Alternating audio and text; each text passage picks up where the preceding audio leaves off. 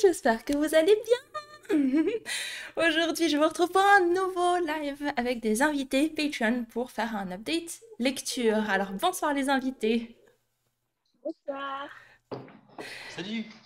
J'espère que vous allez bien. Alors, je sais que vous allez bien parce qu'on a forcément discuté un petit peu avant. Hein Mais euh, est-ce que euh, vous pouvez vous présenter rapidement? Donc, on a Chloé et David avec nous. Commençons peut-être par Chloé, juste dire euh, un peu bah, ce que tu aimes faire, ce que tu aimes lire en général.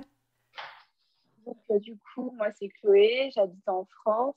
Et donc, ce que j'aime bien faire, c'est lire ou regarder des séries aussi, me promener. Et euh, du coup, ce que j'aime bien lire surtout, c'est la fantaisie et parfois un peu de romance aussi. L'été, ça passe bien dans la piscine. Yes, trop la piscine. Euh, j'avoue qu'ici, il commence à faire un petit peu froid. Aujourd'hui, je suis sortie sans, sans jaquette. Je suis juste sortie en t-shirt parce qu'il faisait beau. Mais euh, punaise, un coup de vent et j'ai tout de suite regretté. J'étais là, oh Mais bon, comme j'étais déjà un peu loin de chez moi, je me suis dit, je ne vais pas retourner. Alors j'ai fait ma, ma, ma viking. J'étais là, c'est bon, je vais survivre. Mais euh, ah, la piscine, c'est loin. C'est loin. Sur toi, la piscine, je crois que j'y suis allée deux, trois fois cet été. Ouais. Et on a eu un temps pourri, quoi. C'est vrai que c'était pas la joie, hein, niveau euh, météo ces derniers temps. Et du coup, David, même chose pour toi. et il faudra qu'on parle de ça d'ailleurs, de l'influence de la météo sur nos rythmes de lecture. Ah ouais? Parce que moi, c'est un truc de fou en fait. Hein. Ouais, ouais, moi c'est David, je suis euh, bah, français aussi, je suis sur l'image. Euh, gros lecteur de fantasy aussi depuis, euh, depuis une dizaine d'années et de science-fiction. Ouais. Enfin, bon, ça dépend, des, ça dépend des périodes et des moods, quoi. Et, et depuis peu, je me suis pas mal mis au polar, thriller un petit peu. Ok. Trop bien, trop bien. Et puis du coup, pour le mood, tu veux dire que vu qu'il pleuvait euh, un peu plus euh, ces derniers, mois, tu as lu euh, en conséquence ou au contraire, ça t'a, ça t'a plutôt permis de faire autre chose? je sais pas, moi j'aime beaucoup lire sur le balcon, tu sais, Ouais. au soleil, quoi. Donc non, généralement je lis quand même beaucoup plus l'été. Mais ah, je sais pas, genre, ça, joue vachement au niveau de mes, rythmes de lecture. Mais, ok. Il n'y a, pas de règle en fait, il n'y a pas de règle. Ok. Dans six mois, je répondrai l'inverse, que je préfère lire sous la pluie, mais. Euh, Ouais, bah moi, moi quand il, quand il pleut des cordes et que... Bon, je pense que c'est le cas pour tout le monde parce que c'est très cliché, mais genre quand t'entends la pluie et tout dehors, puis t'as des petits coups de vent ou des petits tonnerres et puis t'as que le bouquin avec ton plaid et tout, enfin genre... Pour... Mais d'ailleurs, pourquoi? Pourquoi est-ce que c'est genre un cliché de lecteur? Pourquoi est-ce qu'on aime ça, tu vois? Je sais pas. Ouais, je sais pas. Non, mais c'est un ensemble de choses, c'est c'est le côté un peu euh, confort, chaleur, c'est à la couette, le chat, euh, la tasse de thé, Ouais, euh, le plaid, et, euh, ça contraste du coup avec le temps extérieur, tu vois. ouais, c'est Plus il ça. fait moche dehors et plus tu es content en fait d'être dans ton lit l'intérieur. finalement. ouais. C'est clair, c'est clair. Euh, du coup, je dis un petit bonsoir général pour le chat. Euh, je vois qu'on a, on a les habitués que je suis très contente de voir. Donc, bon, comme on on n'est pas encore trop avancé dans les commentaires, je dis vite un, un bonjour à Dira, Virgie, Blue, bah David, Euh, Juju, coucou, Émilie, ça faisait longtemps que j'avais pas pu venir et je suis super contente d'être là. Et on est très contente de, enfin content et contente de t'accueillir également. Clémy, euh, bah Chloé, voilà. Vous me faites rire, dans le chat aussi. Euh, Marco, Lund, Sandra, Joe et Mimoun. Bien sûr, Mimoun. Ok. Il se passe un truc là dans les commentaires. Il y a Joe là qui dit à Marco, j'écoute voir sur un live sur Colanta. Le truc c'est que moi aussi je suis sur des lives de Colanta, donc euh, Ah ouais? c'est un, ouais, ouais, ouais, un petit groupe là. Mais comment ça? Il y a des... Attends, un live de Colanta? ouais. ouais, euh, Après le après Colanta, il y a des débriefs YouTube. Ah, carrément? Ah Ouais? ouais? Ok. C'est un truc. C'est un truc. Ah bah, Space Babies, bah oui, bah, enchanté Marco, on se reverra, on se reverra mardi prochain sur le live de, de Space Babies. J'adore. Moi, je crois qu'il n'y a pas Colanta la semaine prochaine. Hein. Dans 15 jours, ouais. Merci de me rappeler cette mauvaise nouvelle. Bah, j'adore. C'est, est-ce que c'est une sacrée coïncidence ou pas? Le fait que... Ouais, grâce qu'on n'est pas nombreux quand même, on doit être 2000 ou 3000 hein, sur ce live. Ouais, et que ça y est les deux euh, sur la chaîne. Enfin, sur... Bah, 3 a priori là. Trois? Ouais, alors Ouais, il y a Joe, Marco. Ah, mais et moi. punaise, c'est trop funny. C'est trop funny. C'est parce qu'avec mes bouquins, on fait Colanta aussi. Au début, j'en ai 10 et il n'en restera qu'un qui est euh, pas abîmé. Je sais plus qui c'est qui avait fait cette blague. Est-ce que c'était Mo ou Rémi, je sais plus, qui disait que mes livres c'était Colanta, quoi. Ok, bah c'est chouette, c'est très très chouette. Euh, Ok, et euh, du coup, qu'est-ce que je voulais dire? Je ne sais plus, mais c'est pas grave. J'adore ces coïncidences comme ça. Euh, ah oui, avant que j'oublie, je voulais vite faire le tirage au sort du concours parce que pour celles et ceux qui ne sont pas au courant, pour le Patreon à hauteur, enfin pour le niveau à 5 euros, il y a tous les mois un, co- un concours que j'organise pour faire gagner quelque chose de cette valeur ou un peu plus, entre 5 et 10 euros, euh, à un Patreon. Et du coup, on va avoir les résultats ce soir. Euh, je vais, je vous fais gagner un e-book de votre choix ou parmi une sélection de mes coups, de cœur, mais en soi, ça peut être n'importe lequel, hein, je veux dire. Euh, et du coup, j'aimerais dans le chat une personne, n'importe laquelle, mais je prendrai le premier numéro qui arrivera de toute façon, me donne un nombre entre 1 et 11, ou un chiffre, un nombre, un, un chiffre. Euh, comme ça, je pourrais vous montrer le petit papier que j'ai préparé à l'avance avec euh, les noms des participants et on pourra voir qui c'est qui gagne le concours de ce mois. 9. Eh ben 9, alors je vous montre mon petit papier. Ouais, je sais pas- Team Claude, je suis d'accord. C'est Maxime! Alors, je, je ne pense pas que Maxime est là euh, aujourd'hui sur le chat, mais du coup, je lui mettrai un petit mot sur, sur le Discord. Donc, vous voyez, j'avais mis tous les noms ici. Et donc, le 9. Bon, je sais pas si vous voyez à l'envers, hein, j'imagine. Ou bien vous voyez à Ouais. l'endroit. Je Moi, je vois un endroit. Ah, vous Ouais, voyez à on voit à l'endroit, mais je crois que sur YouTube, tu vois à l'envers. Ouais, bon, bref. M-A-X-I-M-E. Je pense que c'est assez lisible. Oui, bon, c'est pas grave, vous avez compris l'idée. Donc, Maxime, je lui mettrai un mot sur Discord, il, il- il va être très, très, très content. Ok, donc ça, c'est une bonne chose de faite, et heureusement que je n'ai pas oublié, parce que c'est le, genre de, de petits détails. À la fin du live, je me dis, mince, j'ai oublié de faire ça.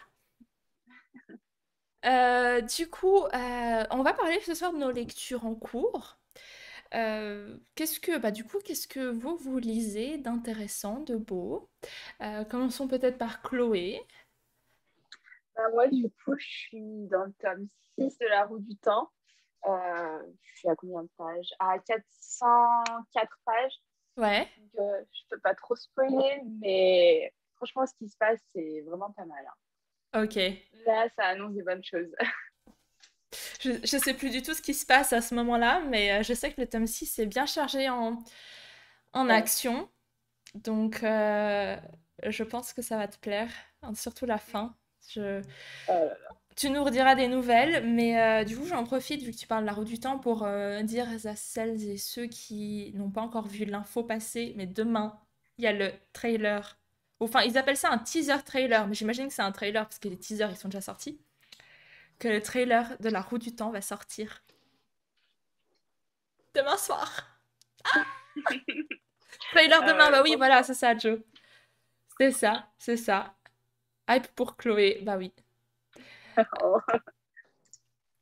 Euh, Et du coup, qu'est-ce que vous, vous lisez aussi? Je vois le Sorceleur tome 2, le trailer. Ça va être l'emoji. Oh, non, mais moi, je suis, je suis en PLS. J'ai même pas vu le truc, mais je sais déjà quelle va être ma réaction. Je vais être là. Déjà, je vais être mon, monstre crispé. Et je sais déjà que j'aurai des frissons qui vont re- remonter, enfin, être partout sur mon corps. Genre vraiment des frissons euh, chair de poule comme pas possible. Et puis je vais être là. OMG, OMG, OMG, OMG. Je me connais beaucoup trop bien, ça va être horrible. Et du coup, euh, oh là là, j'aurais pu faire carrément un live pour ça, tu sais, genre le voir en direct. Mais je pense, non, mais non, parce que vous me verriez juste, euh, juste en train de fangirler comme pas possible, à vous casser les oreilles, à faire des petits cris à gauche, à droite, là. Et surtout, c'est que le premier, euh, tu vas regarder une première fois, tu vas te dire oh là là, oh là là, oh là là. Et après, tu vas regarder de nouveau pour Ouais. vraiment voir tout ce que tu arrives à repérer. Je vais le regarder au moins dix fois, hein, ça c'est sûr. Ouais. Ah là là. Euh, alors, je lis juste les commentaires. Deuxième partie du tome 1 de la roue du temps. Yes! Les contes d'Edgar Allan Poe. Euh, y a Priscilla qui, qui est en train de lire euh, Elana de Pierre Bottero. Ah oui, mais il y a une lecture commune pour ça, non? Chez euh, Ouais. Cornelius, sauf erreur. Et, euh, et je l'envie de ouf parce que, en fait, moi, je suis tombé dans la fantasy avec Bottero, quoi, à la base. Avant d'arriver dans la fantasy adulte, je- du coup, tu vois, je, je l'avais mis, à côté de moi, tu vois, le premier tome d'Elana. Tu les as lus aussi? J'ai jamais lu. Non. En fait, j'ai l'impression que la plupart des gens, ils sont soit tombés dans la... Enfin, je veux dire, de notre génération. Est-ce qu'on peut... on- Est-ce qu'on a à peu près le même âge? 24? Moi, j'ai 24. Vous avez Euh, ouais, 29 et 26. 26. Punaise, t'es plus âgée que moi, Chloé. Ouais. Tu fais tellement plus jeune que moi. Je sais, tout le monde me dit, mais t'as cet âge-là, vraiment? Bah, d'un côté... non. Vas-y. Hier, j'ai un collègue qui me dit, il me dit, t'as quel âge? Je lui dis, bah, 26, 26. Il me dit, ah ouais, je te donnerais bien 25, 26. Et je fais, ah, c'est la première personne qui me dit que je fais mon âge. D'habitude, c'est tout le temps, mais t'as cet âge-là, vraiment? Euh, T'es sûr? Bah, d'un côté, c'est mieux ça que l'inverse. Moi, justement, j'ai tendance à toujours faire plus âgé que mon âge.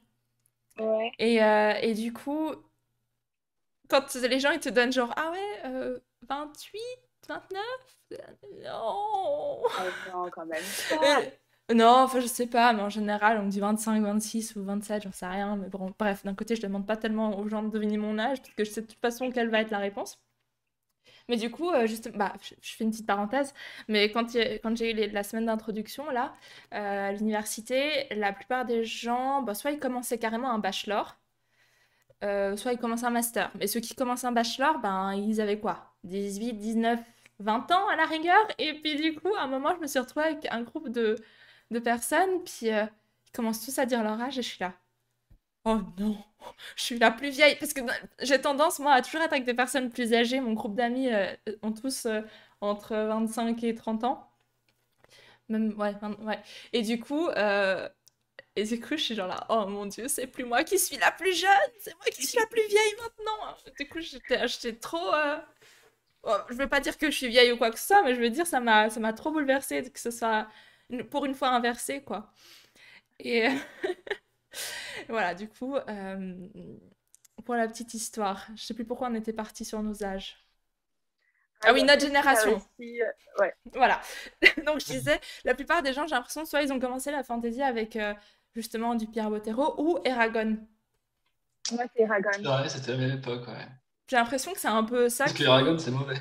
Et qui pas Bottero. Non, franchement, c'est toute mon enfance. Ah c'était pas mon adolescence.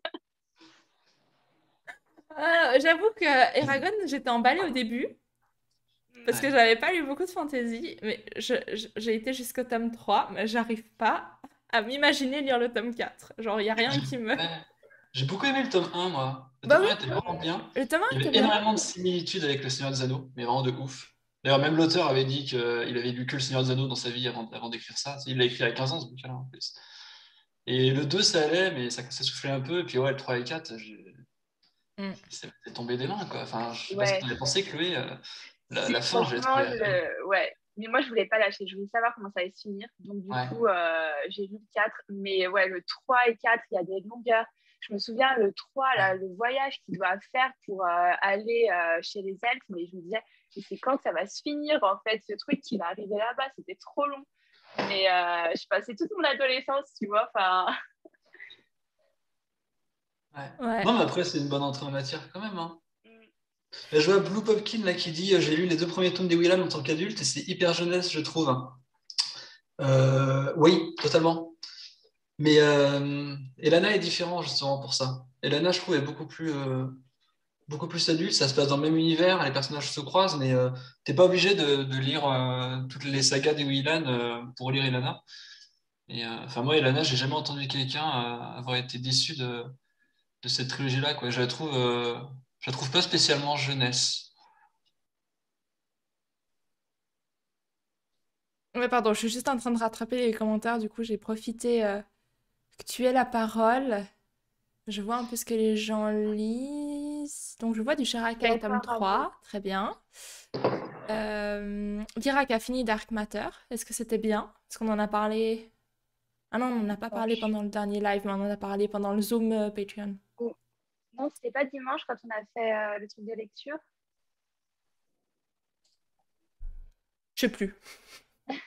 On discute tellement sur. enfin, on discute tellement sur le Patreon. Non, mais on, a commencé récemment à faire des sessions lecture aussi euh, entre nous sur Patreon dans les salons vocaux et tout. C'était assez sympa. Mais du coup, je sais plus du tout quand est-ce qu'on en a parlé.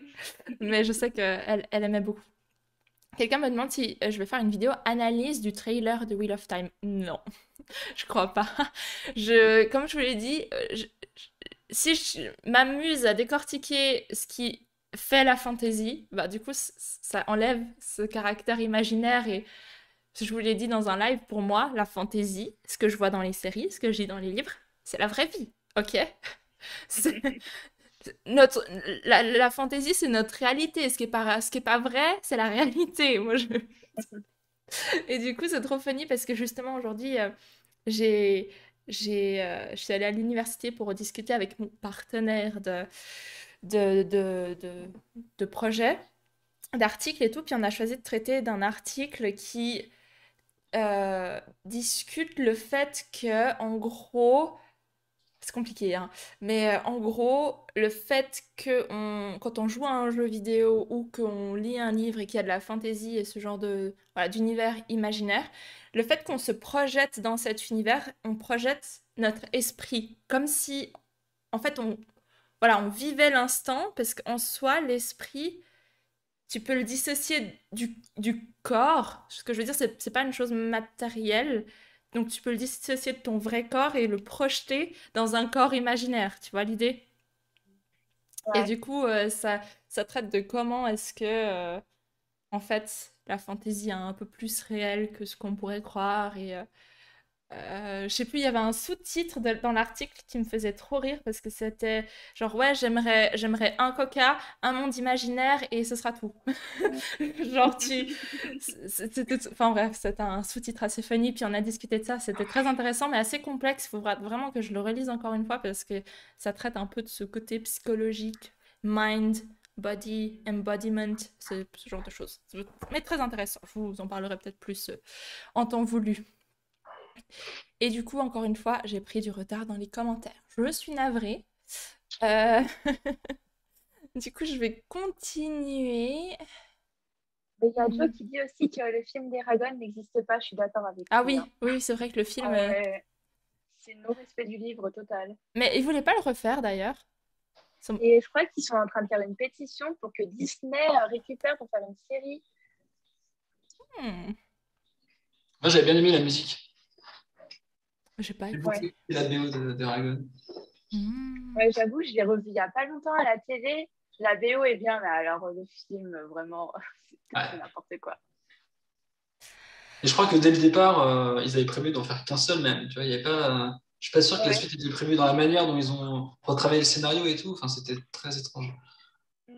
Ouais, et puis surtout, c'est qu'ils ont tellement pas respecté euh, l'histoire avec des personnages qui ont une importance pour la suite des livres, c'était impossible de pouvoir faire euh, les, autres, les autres livres en film. Mhm. Ouais. Euh, Chloé, je, je veux juste te demander, parce que ton son est légèrement moins fort que le nôtre dans la jauge. Je veux Oui. juste voir si... Parce que ton micro, il est sur les AirPods, hein, j'imagine. Ouais, c'est ça. Ouais, bah, euh, je- si t'arrives juste à parler un chouïa plus fort, si ça te gêne per- enfin, personne dans ton, dans ton appart, ou je sais pas.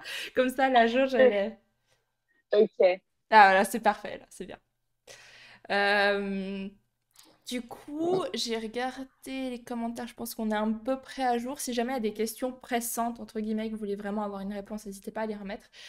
Euh, mais du coup, oui, donc tu es dans Wheel of Time, tome 6. Ouais. Et tu, tu aimes bien. Je suis ravie. Est-ce que tu as des critiques à faire? Parce que justement, dans le dernier live où on a parlé de, de la roue du temps, parce que je crois que c'était Sandra qui lisait le tome 4, euh, on a eu un monstre débat. Mais est-ce qu'il y a des choses qui, qui te, qui ressortent comme ça du texte? Alors moi, c'est le truc, je crois, qui m'énerve le plus depuis euh, que Hélène, euh, enfin, elle est vraiment devenue importante dans le, Mm. dans le livre et qu'elle est tout le temps là, oh reine, reine, mais comment, euh, enfin, je vais devoir le partager et tout. C'est c'est assez frustrant. Je, en fait, je que- comprends. Et je pense que c'est le souci. de- Enfin, je pense que pas mal de gens tiquent un petit peu sur ça parce que c'est effectivement une thématique un peu étrange, on va dire. Oh, le chat! Il y a deux chats! Mais dis donc, ils sont sortis d'où? Oh là là, qu'il est beau. Bah, tu sais, d'ailleurs, on parlait de, on parlait juste avant en off de Game of Rolls, tu sais, de, du Oui. jeu de rôle qui va reprendre du coup en, en live sur Twitch demain. Et euh, il y a Fripouille. Ouais. Et Fripouille, je l'imagine exactement comme ton chat. Ah ouais? Mais- Trop une tête, genre, laisse-moi tranquille. C'est ça. Et puis, et comment il, euh, comment il, bah, comment ils s'appellent vos chats d'ailleurs?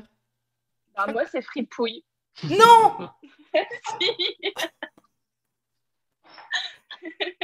C'est pas vrai!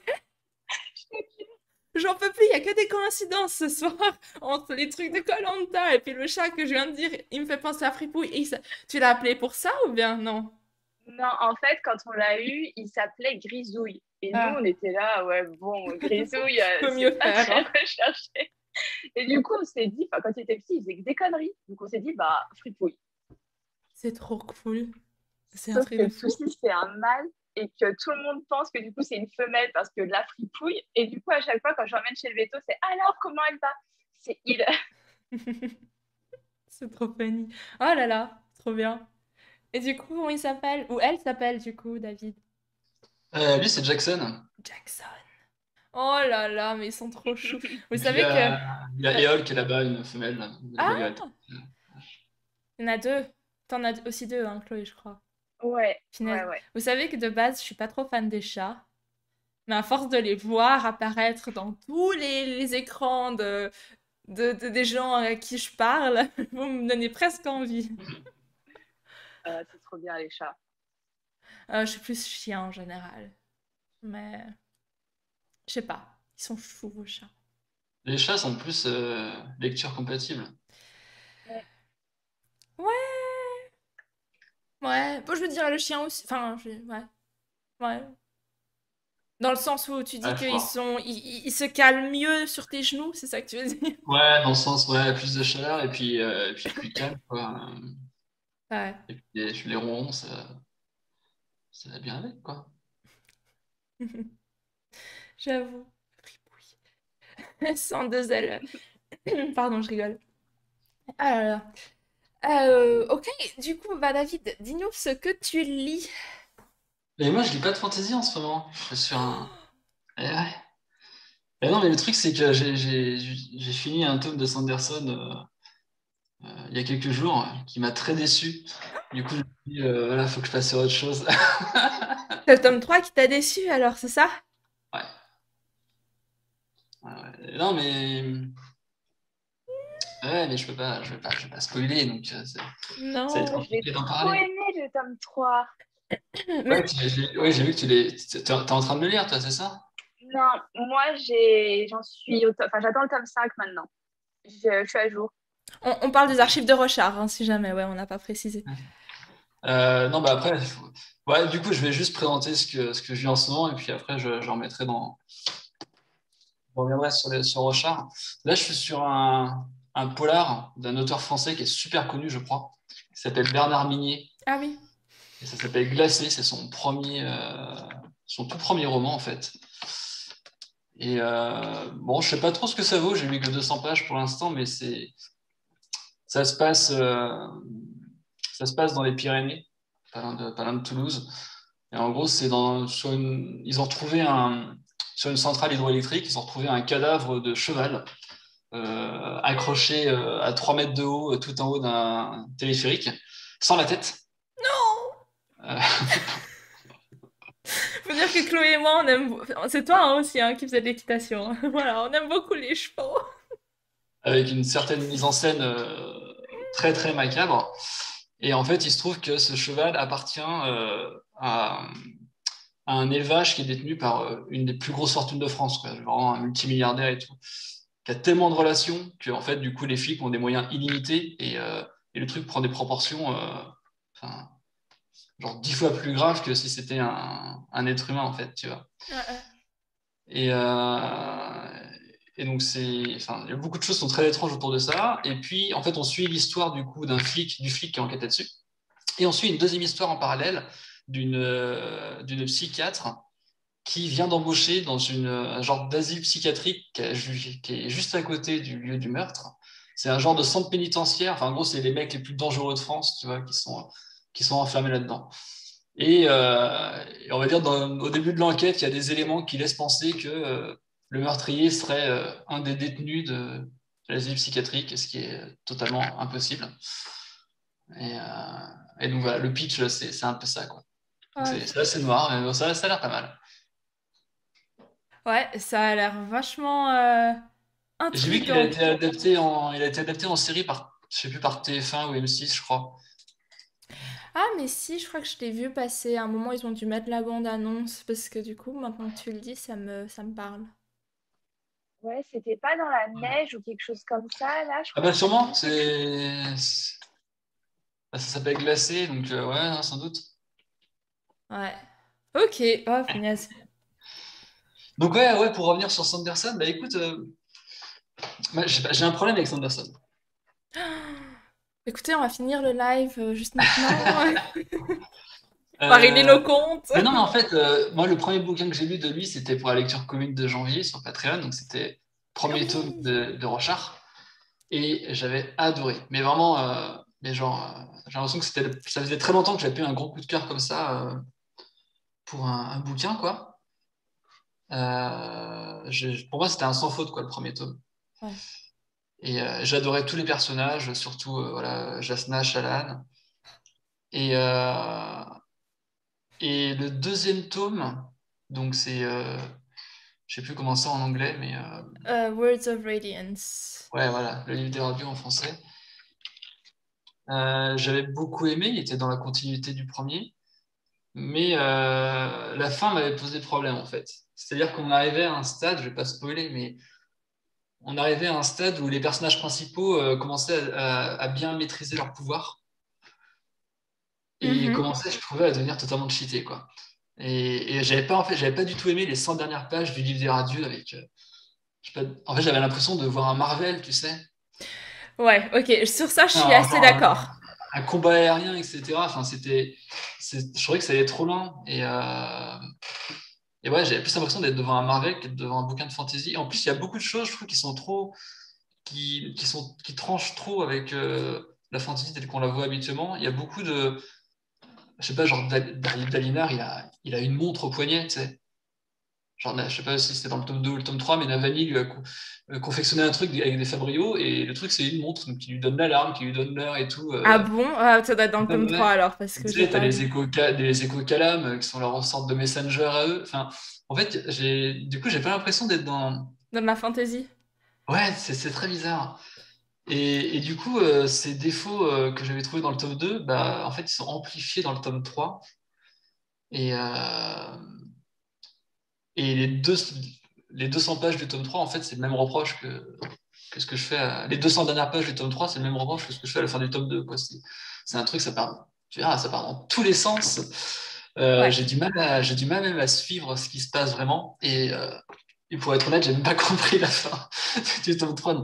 quand tu auras fini, Chloé, euh, je, voudrais bien que tu me fasses une petite explication sur. Euh, euh ouais, il faudrait que je me remette en tête exactement ce qui se passe pour pas que je mélange avec le tome 4 où ça s'arrête. Ou... Mais ouais, je relirai au pire et on en reparlera. Et puis, ouais, puis le truc, c'est que j'attends, le plus vraiment entre chaque tome, mais tu oublies facilement quand même hein, tout ce qui est l'aspect euh, mythologique qu'il y a derrière les, les, radieux, les incréés, les, tous les, enfin, tu sais plus qui est Dieu, qui n'est pas Dieu. Enfin, c'est très, c'est une mythologie très très bizarre, quoi. Et, euh, tu vois, je trouve que ça va, ça va en fait, moi, c'est pas le genre de fantasy que que j'apprécie particulièrement. Quand il y a beaucoup de mythologie, quand il y a des dieux, etc. Euh, quand c'est trop, euh, ça, fait trop, tu vois, genre le monde entier engagé dans une bataille, le bien contre le mal, tu vois. C'est je caricature un peu parce que c'est pas vraiment, c'est pas si manichéen que ça, Sanderson. Mais, euh, mais ouais, j'ai un peu un problème avec ça. Et... Mais avec euh, Waker, c'était pareil. Hein, je l'ai pas trouvé mauvais, mais je l'ai pas, euh, je l'ai pas trouvé transcendant non plus, tu vois. Et le truc, ce qui s'est passé aussi, c'est qu'au mois de juillet, euh, j'ai découvert, enfin, je me suis enfin décidé à lire ce qui m'attendait depuis 5 ans dans la bibliothèque, Le nom du vent. Et t'as préféré le nom du vent? Et je me suis enfilé les trois tomes, parce qu'en français, il y a trois tomes. Ah oui. Et c'était tellement incroyable. Je pense que c'est le meilleur bouquin que j'ai lu de ma vie, en fait. Ok, ok, c'est bon. Ben, avec un peu de recul, il euh, faudrait que je confirme ça, mais je pense vraiment. C'est, en fait, ça m'a. En fait, du coup, avec Sanderson, j'ai flippé parce que je pensais vraiment à me dire, mais en fait, est-ce que, est-ce que j'aime vraiment la fantasy Tu vois, est-ce que c'est vraiment un style pour moi? Je commençais à remettre des choses un peu en question. Et en fait, le nom du vent m'a, m'a rappelé en fait mais absolument tout ce que j'aimais dans la fantasy et tout ce que je recherchais. Euh, mais il y a pas longtemps, euh, avec dans un live là, que tu avais fait avec Fabio, on avait discuté justement des différences de style entre Sanderson et, et Ross Fuss et tout, que c'était vraiment deux styles de fantasy très différents et tout. Et, et c'est là que je commence à mieux comprendre du coup ce que, ce que je recherche vraiment et ce qui me plaît dans la fantasy. Tu vois. Donc il y a eu aussi le côté post-mélancolie, post-que on va dire. Ouais, ouais, je comprends. Je euh, il faut pas que je reste. Enfin, il faut vite que je passe à autre chose et tout. Euh, et du coup, je me suis lancé dans Sanderson et c'était peut-être pas une bonne idée non plus de le, lire à ce moment-là. Je comprends tout à fait les, critiques que tu as pour le tome 2 et moi aussi j'ai un peu...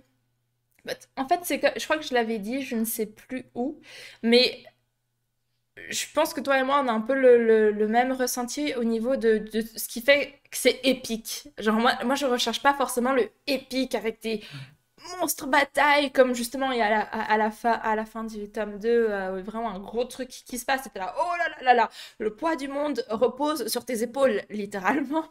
Et euh, moi, si je lis la fantasy, c'est justement plus pour rechercher ce qu'on pourrait trouver dans le nom du vent.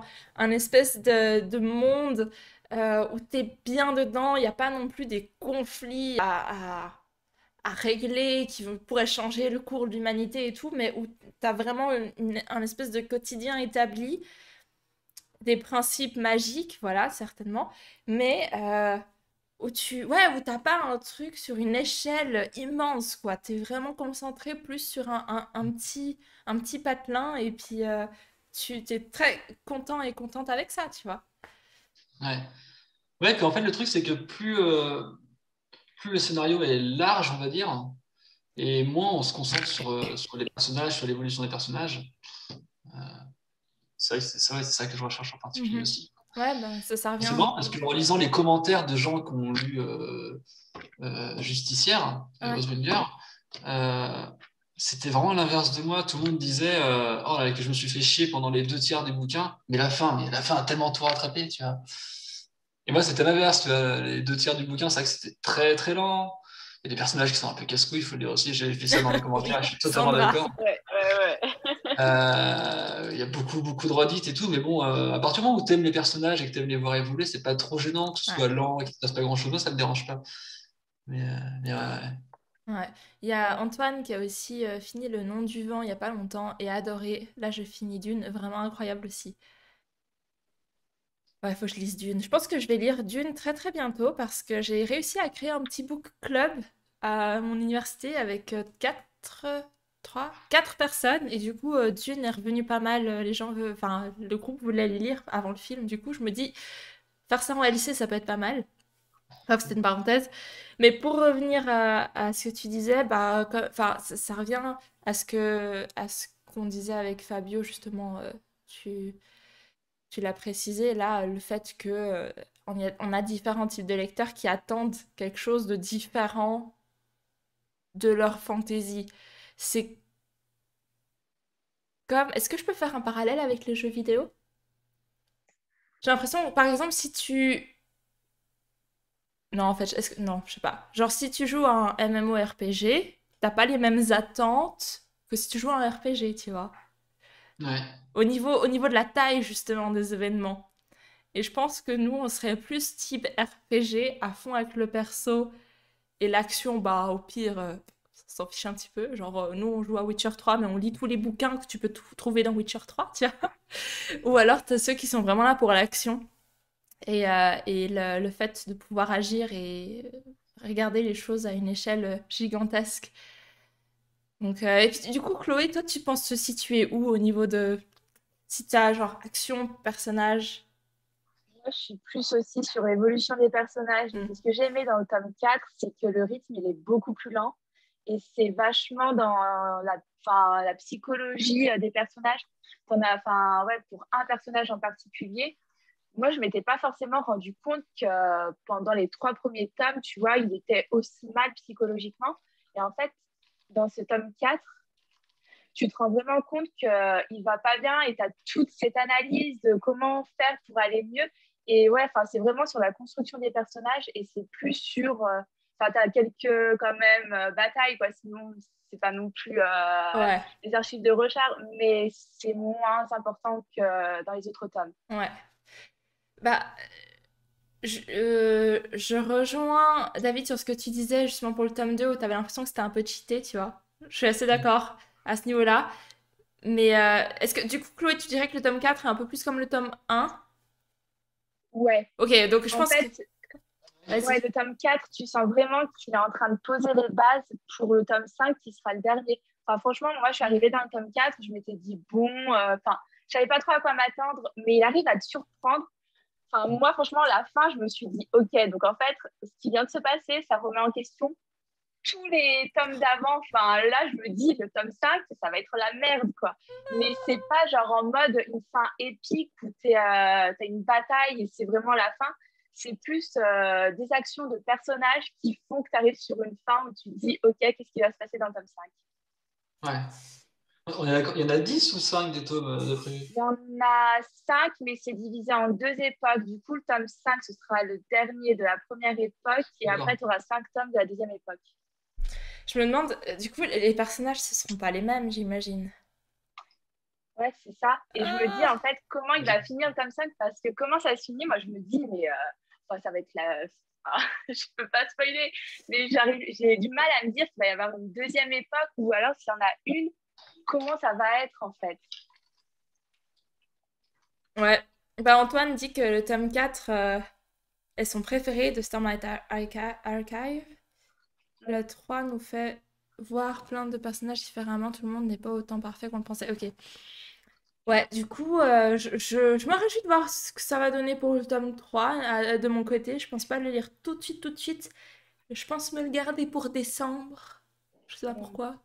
Parce que je, la- je laisse un petit peu le temps à passer, parce que sinon je vais être trop impatiente. Mais euh, ok. Et du coup, est-ce que je reviens sur le nom du vent? Le nom du vent, il y a plein de gens qui aiment pas. Parce que, voilà, c'est très, entre guillemets, lent, ça prend son temps, c'est très centré sur un personnage. Mais moi, je trouve ça magnifique. Je... Et en plus, je trouve que Rothfuss, il a vraiment une plume. En fait, c'est un bon euh, storyteller. Je sais pas comment dire ça en français. hein. Il raconte très bien les histoires. Et ce, ce monde qu'il a créé, je le trouve tellement cohérent aussi que c'est tellement facile de se projeter dedans. Contrairement peut-être à Stormlight Archive, qui est très perché quand même. Je veux dire, il y a des choses très étranges. Et euh, je saurais pas comment expliquer pourquoi est-ce que le nom du vent, ça m'a autant touchée? Et surtout que c'est venu par après, parce que j'ai pas eu le coup de cœur tout de suite. C'est vraiment avec du recul où je me suis dit, non, mais en fait, cette histoire, elle, elle me hante vraiment. Je pense que c'est une des seules histoires qui me reste vraiment bien en tête. Ah ouais, non, moi, c'était vraiment quand j'étais en plein dedans, Ah quoi. oui, déjà? Ok. Ouais.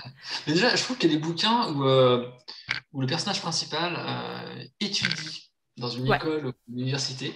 Déjà, de base, tu pars avec un capital sympathie euh, qui est énorme parce que tu t'identifies et directement, quoi. Puis on a tous été à, à l'école ou à la fac ou quoi, au moins à l'école. Et, euh, et du coup, ça te fait, ça fait toujours écho à des trucs que tu as vécu et tout. Et puis après, ouais, il y a tout ce qui est euh, rencontre amoureuse également. Enfin, il y y a- il y a plein de choses dans le nom du vent, euh, je pense, qui résonnent avec notre vécu aussi, quoi. Mais euh, enfin, moi, Oui, ça me. Ouais.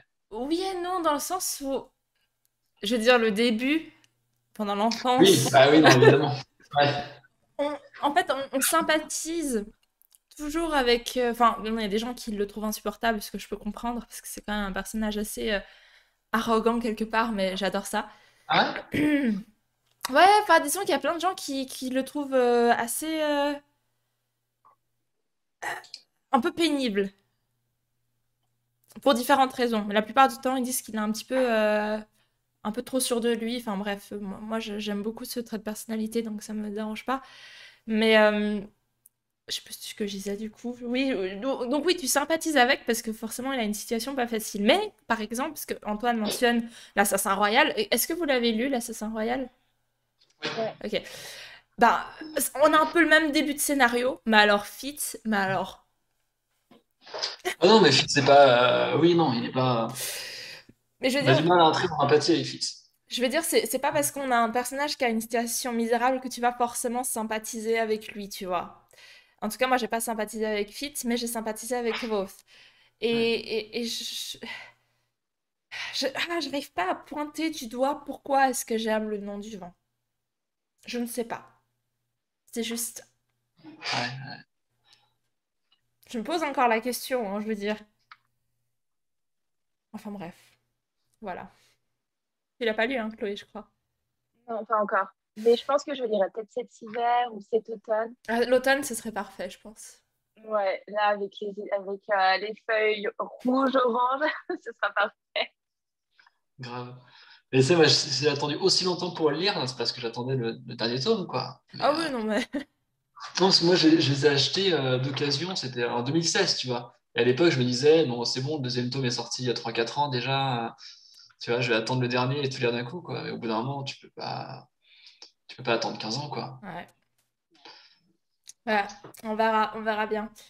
Ça me fait penser, bah du coup, je, je parle de ma lecture, enfin ma lecture en cours, non, celle que j'ai terminée récemment, justement, je finis Soul of the World, qui est très bien. Franchement, j'ai quelques petits défauts à pointer, mais je pinaille, hein, vraiment, je, vais chercher le détail. Ce que je tiens à dire, c'est que c'est la chose la plus similaire à Brandon Sanderson que j'ai lu, au niveau, au niveau du style, au niveau du rythme, au niveau du système de magie, et euh, un peu, à tous les niveaux. Mais parce que justement, l'auteur, si je dis pas de bêtises, il a lu les archives de Rochard, et c'est un peu ça qui lui a fait dire, ah ouais, moi aussi, je vais écrire une histoire aussi épique que ça. Et franchement, ouais, je pense que c'est une des mes meilleures lectures de, cette année. Son premier bouquin? C'est son premier bouquin, ouais. C'est hallucinant, c'est hallucinant. certes, il y a des petits défauts, mais je pense que ce qui m'a fait Enfin, ce qui a fait que c'est un... Est-ce que c'est un coup de cœur? Oh, Je sais pas pourquoi, j'ai pas envie de dire que c'est un coup de cœur, mais en tout cas, ce qui m'a fait vraiment, vraiment, vraiment aimer, c'est que c'est assez original. Alors, entre guillemets, parce que c'est original pour moi, parce que j'en ai pas lu avant, mais c'est de la gunpowder fantasy. Et attention, parce que moi j'avais trop peur que ça me plaise pas, parce que je suis pas très fan genre de, de, de ces, de ces époques euh, euh révolution, guerre d'indépendance, ou avec voilà les, les ah, comment, muskets, c'est comment on dit ça Les baïonnettes, des trucs comme ça?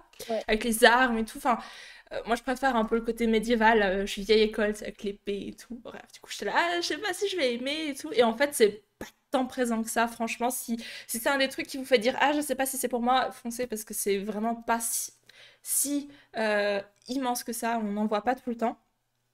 Mais ce que j'ai adoré, c'est le, c'est, on a trois points de vue. ça se voit qu'il y a des inspirations de Brandon Sanderson. Il y a plusieurs points de vue, il y a des interludes. Et euh, un des points de vue ressemble à celui de Chalan, mais je pense quand même celui que j'ai préféré, c'est celui de Jour, qui sera du coup une espèce de d'indigène, quoi, qui, qui est sur le continent euh, depuis, enfin, sa tribu est sur le continent depuis des, années, des, des, millénaires, j'en sais rien, mais bref. Ils sont là depuis très longtemps, puis justement, il y a cette histoire de colonisation, où il y a les colonies qui arrivent sur ces terres, machin, machin. Et Arakjour, il est... En fait, c'était nouveau, je trouve, d'avoir cette espèce de point de vue, presque bah, à dire en Amérique du Nord, comme ça, relation avec les animaux, avec la nature, avec les esprits. Vraiment, vraiment inédit, je trouve. Et le système de magie. J'ai rien envie de vous dire parce que franchement, ça fait partie de la découverte. Mais il est très, il est très stylé. Je crois qu'il y en a trois ou quatre de systèmes de magie. Et j'adore. Et pour vous donner une idée, Rémi dit que ça lui fait plus penser aux archives de Rochard au niveau de, du système. Moi, alors on a eu un petit débat là-dessus, on n'était pas forcément d'accord. Moi, je dis que ça ressemble plus à Mistborn. Mais il était là, non, alors je suis pas du tout d'accord. alors attention, Rémi ne regarde pas le replay, j'espère qu'il sera pas par là. Mais moi, je trouve que ça ressemble plus à Mistborn parce qu'il y a quand même cette idée de puiser dans quelque chose. Et quand il y en a plus, il y en a plus en fait. Donc euh, voilà, c'est pour ça que ça me fait penser à Mistborn et certaines propriétés. différence avec Rochard du coup? Bah, lui, il dit que c'est une magie qui est plus reliée en fait aux éléments, à la terre, bah, dans, dans Rochard, c'est les tempêtes et tout ça. Euh, et donc, lui, il fait plus le parallèle avec ce côté où c'est par rapport à la nature, tu vois. À partir de, de, choses qui s'accumulent dans les terres. Alors, c'est vrai, mais du coup, le fait qu'il puise dedans, pour moi, ça fait penser à Mistborn. Parce que Mistborn, il dit non, c'est pas ça, parce que du coup, c'est une, c'est pas en lien avec la nature. Ouais, Mistborn, c'est des métaux, donc. Mais bref, voilà, c'était juste pour vous dire ça, parce que je vous en ai déjà parlé. Euh, je recommande fortement. Euh, et du coup, pardon, je, fais toujours des très très longues présentations quand je parle de mes lectures, mais je suis désolée. Hein. Et du coup, je lis Dreams of the Dying. Vous connaissez peut-être pas. C'est auto-publié. Euh, s'il y a des gens qui aiment Skyrim, en fait, de base, l'auteur de ce bouquin, il a fait un mode de Skyrim qui est maintenant en fait sa propre histoire. Genre, c'est complètement indépendant. On peut l'avoir gratuitement sur Steam si on a Skyrim de base. Et euh, donc, il a créé un univers hyper cohérent. beaucoup de joueurs ont, adoré euh, ce qu'il a fait. Et du coup, il a fait, il a fait tout un bouquin avec tout le lore, tout le... Enfin, en fait, le bouquin, c'est un préquel au jeu. Et dans cette magnifique édition, il y a des... Il y a, il y a 100 pages de je sais pas comment on dit en gros, où il y a soit des portraits, il y a, tout, il y a carrément euh, presque un dictionnaire, il y a tout un langage qui a été inventé. Donc euh, voilà, il y a une espèce de, bestiaire aussi. Il y en a un qui est... Attendez, je vais vous montrer, il y a une créature qui est beaucoup trop adorable. Il euh, faut que je la trouve. Et du coup, c'est hyper complet, cette édition, elle est assez chouette pour ça. si j'arrive à trouver la chose assez vite pour pas accaparer. Ah oui, c'est ça, regardez-moi. C'est un espèce de mélange entre un ours et un raton laveur. Oh, il est trop chou. Bref, du coup, il y a 100 pages de, de, de compléments à l'histoire et euh, sinon, c'est euh, en gros, pour, parce que je suis à la page, je suis page 139. C'est spécial, c'est spécial. Le style, comme c'est auto-édité, le style est, pas ce que je préfère. C'est très centré sur les personnages. Alors, pas dans le bon sens pour le coup, parce qu'ils prennent vraiment, vraiment beaucoup trop de place. Il manque un peu de world building selon moi. C'est très complexe, il y a beaucoup de, deals. En fait, c'est une archipel. Il y a beaucoup de deals, il y a beaucoup de, de religions différentes, il y a beaucoup de cultures, mais c'est pas plus expliqué que ça. Donc, il manque un petit peu d'approfondissement à ce niveau-là pour moi.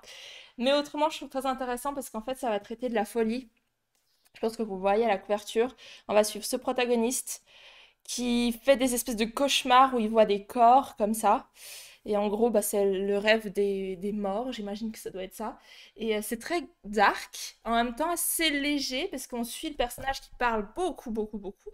Euh, on est vraiment dans sa tête, euh, et ils expriment beaucoup leurs sentiments, donc ça, passe tout droit. Mais il y a vraiment, à ce qui paraît, je ne suis pas encore arrivée, arrivée à là, parce que c'est dans un je pense dans quelques pages.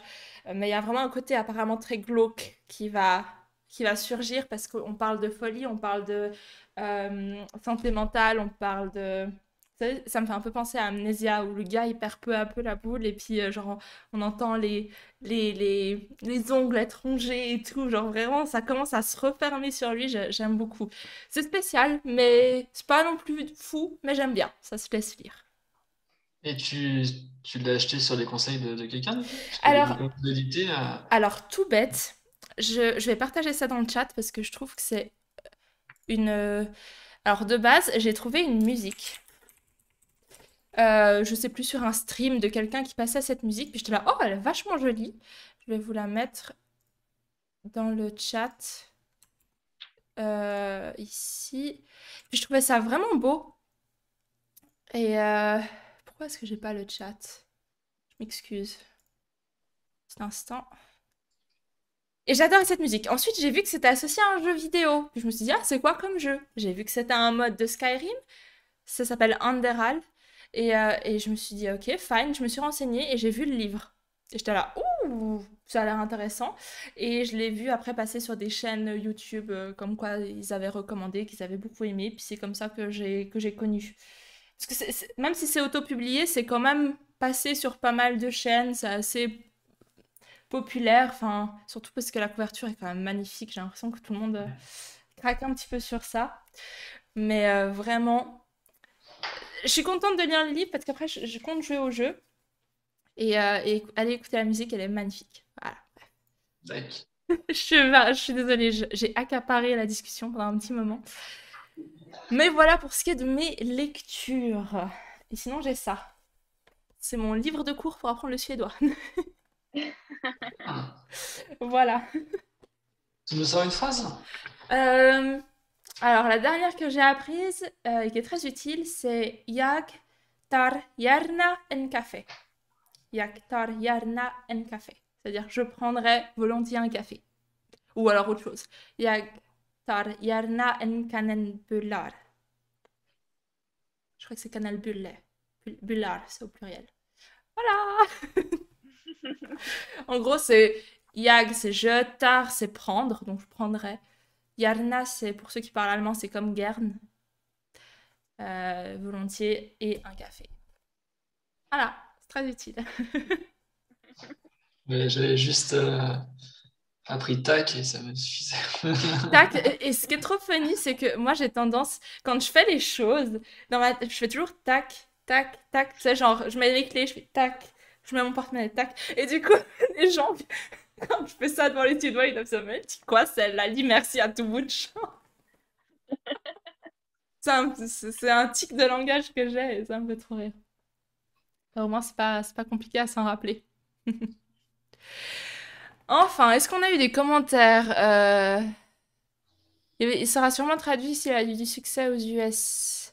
Dreams of the Dying ou Soul of the World? Soul of the, World, je pense qu'il y a des chances. Il y a des chances. L'autre, je pense pas. L'auteur est allemand d'ailleurs de celui-ci. By the way. Hop, ça part dans la wishlist. Mousquet. Je sais pas, ils disent musket en, anglais pour les baïonnettes, je crois. Anyway, c'est... Euh, Voilà. Donc, parlons peut-être un petit peu de vos coups de cœur pour voir. Bon, on a parlé euh, du nom du vent pour toi, David. Est-ce que tu en as d'autres? Genre, euh, ton... ah, je sais que c'est difficile et qu'il faut jamais demander ça à des gens qui aiment lire parce que c'est difficile à répondre, mais ton top 3? Ça va, Chloé, t'as le temps de réfléchir avant de répondre. Heureusement. Euh, ouais, bah, je pense que oui, clairement, le nom du vent est dans le top 3. Euh, après, euh, je préfère parler peut-être en saga. Oui, bah oui, bien sûr, c'est plus simple. Euh, alors, je sais qu'on te tanne beaucoup avec ça, avec Robin Hobb. T'avais lu le premier tome, c'est ça, d'Assassin Royal? Ouais, ouais, j'ai vraiment envie de lire la suite, hein, ceci dit. Euh, parce que moi, mon gros coup de cœur, c'était Les Aventuriers de la mer. Mais c'est le cas de tout le monde, j'ai l'impression. Ah, elle est belle la couverture en VF, dis donc. Ouais, les couvertures, ça, c'est les éditions Pygmalion. Et je trouve qu'ils font des couvertures de dingue. Ah ouais. Encore mieux que Bragelonne. Et euh, j'ai les, les trois tomes là parce que les trois couvertures sont Ah super ouais. belles. Oh là là. Avec la... Ah, Ça te fait penser à quelque chose, Chloé, le serpent de mer, là? Ouais. Ah ouais. Ah ouais. Et franchement, ils sont stylés, hein. Euh, Ils ont fait du beau boulot à ce niveau-là. ouais, il y a trois tomes de ouais, 800 pages. Ouais, donc c'est une saga ouais, de 2500 pages. Et euh, ouais, pour moi, c'est la meilleure. Bah, après, j'ai pas encore tout fini, hein, Robin Hood, mais euh, je pense que c'est sa meilleure œuvre. hein. J'ai l'imp- enfin, vu ce que j'entends, j'ai aussi l'impression que c'est assez, euh, c'est assez ouais. apprécié. C'est des histoires de. Alors, ouais, il y a pas mal de. Je ne saurais même pas en- enfin, de donner un synopsis, mais euh, euh, on, on suit en fait euh, des, des- des familles marchandes qui vivent à Terrillville. Alors, Terrillville, c'est une, une ville, enfin, c'est une région qui est très au sud de la région où se passe l'Assassin Royal. Donc, géographiquement, c'est vraiment dans des endroits différents. Euh, entre entre l'Assassin Royal et les Aventuriers de la Mer, il y a, il y a un seul personnage en commun, mais tu le sais pas en fait. Enfin, tu le découvres euh, plus tard. C'est un personnage qui Je il a un autre nom, il s'habille différemment. euh, Ah ok. enfin, c'est voilà. Un peu du même genre que euh, Hoyd chez, euh, chez Sanderson, tu vois. Ouais. C'est un personnage un peu bizarre que tu retrouves un peu, euh, partout. Et, euh, et donc, on va suivre, euh, on va suivre les, les péripéties d'une famille marchande euh, à Terrillville. Et en fait, là-bas, les riches familles marchandes, elles possèdent ce qu'on appelle des vives-nefs. Ce sont des bateaux qui sont euh, vivants, d'une certaine Ouais. manière, qui sont, construits avec euh, ce qu'on appelle du bois sorcier. Alors ça c'est pareil, on s'en découvre au fil du bouquin. Au début, on ne sait pas vraiment ce que c'est. C'est un bois particulier qui a été euh, récupéré dans une ville bizarre. Et, euh, en fait, quand tu construis une vive nef, au, bout de plusieurs générations, euh, plusieurs générations de marins, euh, la, la vive nef finit par s'éveiller et elle est capable de communiquer avec toi, quoi. Ça c'est trop stylé justement. Elle m'avait dit euh, Émilie euh, quand on en parlait et ça, ça vend du rêve en fait. C'est comme euh, c'est comme les, les, les va- vaisseaux spatiaux spatial. Je sais jamais si on dit spatiaux ou spatial. Ah ouais, Qui, qui, qui ont une, une intelligence artificielle en eux, tu sais. ouais, Et qui te parlent. Je trouve ça. J'adore ce, ce genre de d'interaction avec entre machines ou alors euh, ouais. bateaux comme ça. C'est c'est trop chouette. Et euh, le truc, c'est qu'il y a des, régions en fait où, le fleuve, euh, le fleuve est beaucoup trop acide pour que des bateaux normaux en fait puissent euh, naviguer là. Donc il y a des parties du territoire qui sont accessibles uniquement avec ces vives nefs. Donc ce qui fait que les familles qui possèdent ces bateaux-là sont richissimes et, les pirates essayent de, récupérer ce, genre de bateau. Et donc voilà, au début tu sais pas du tout ce que c'est, puis au cours de l'histoire tu finis par comprendre un petit peu ce qui se cache derrière ces bateaux. Et puis en même temps, on suit en parallèle euh, l'aventure de, genre de, de ces genres de serpents de mer qui vivent dans l'océan. Euh, tu sais pas trop pourquoi ils sont là. C'est des sous formes d'intermèdes, en fait, régulièrement, tu retrouves les serpents de mer, des genres de bestioles assez étranges qu'on ont perdu la mémoire, qui ne savent pas trop qui ils sont, qui, qui dérivent un peu dans l'océan. Et qui se, dit, enfin, qui, vont, qui se dirigent vers un endroit. Tu sais pas, tu sais pas pourquoi, tu sais pas, tu sais pas comment, mais je ne peux pas en dire plus, voilà, sans, sans, mhm. spoiler. Mais en fait, les deux, les, les deux histoires sont, sont, très très liées. Et il y a des très très très grosses révélations. Voilà, voilà. Ok, bah... ça me donne envie d'aller vachement, de, de, de, de découvrir d'autres histoires euh, un peu de piraterie ou vraiment très maritimes, tu vois. Parce que je crois que c'est les seuls que j'ai lus jusqu'ici. Ouais, il n'y en a pas beaucoup. Hein. Il n'y en a pas beaucoup. Ah, mais... Ah non, j'ai rien dit. Non. Donc ça, je dirais que c'est peut-être, je sais pas, mon, mon numéro 2 ou mon numéro 3. Et puis, je voulais profiter euh, du coup d'être là ce soir pour parler d'un auteur dont tu n'as jamais parlé sur ta chaîne. Voilà, attention, c'est qui? Qui est peut-être. Euh, bah, avant, c'était mon auteur préféré, si tu veux. Euh, maintenant que Rossfus est passé par là, bon, je sais pas, après Rossfus, j'ai lu que deux livres de lui, tu vois. C'est David Gebel. Oui, ok.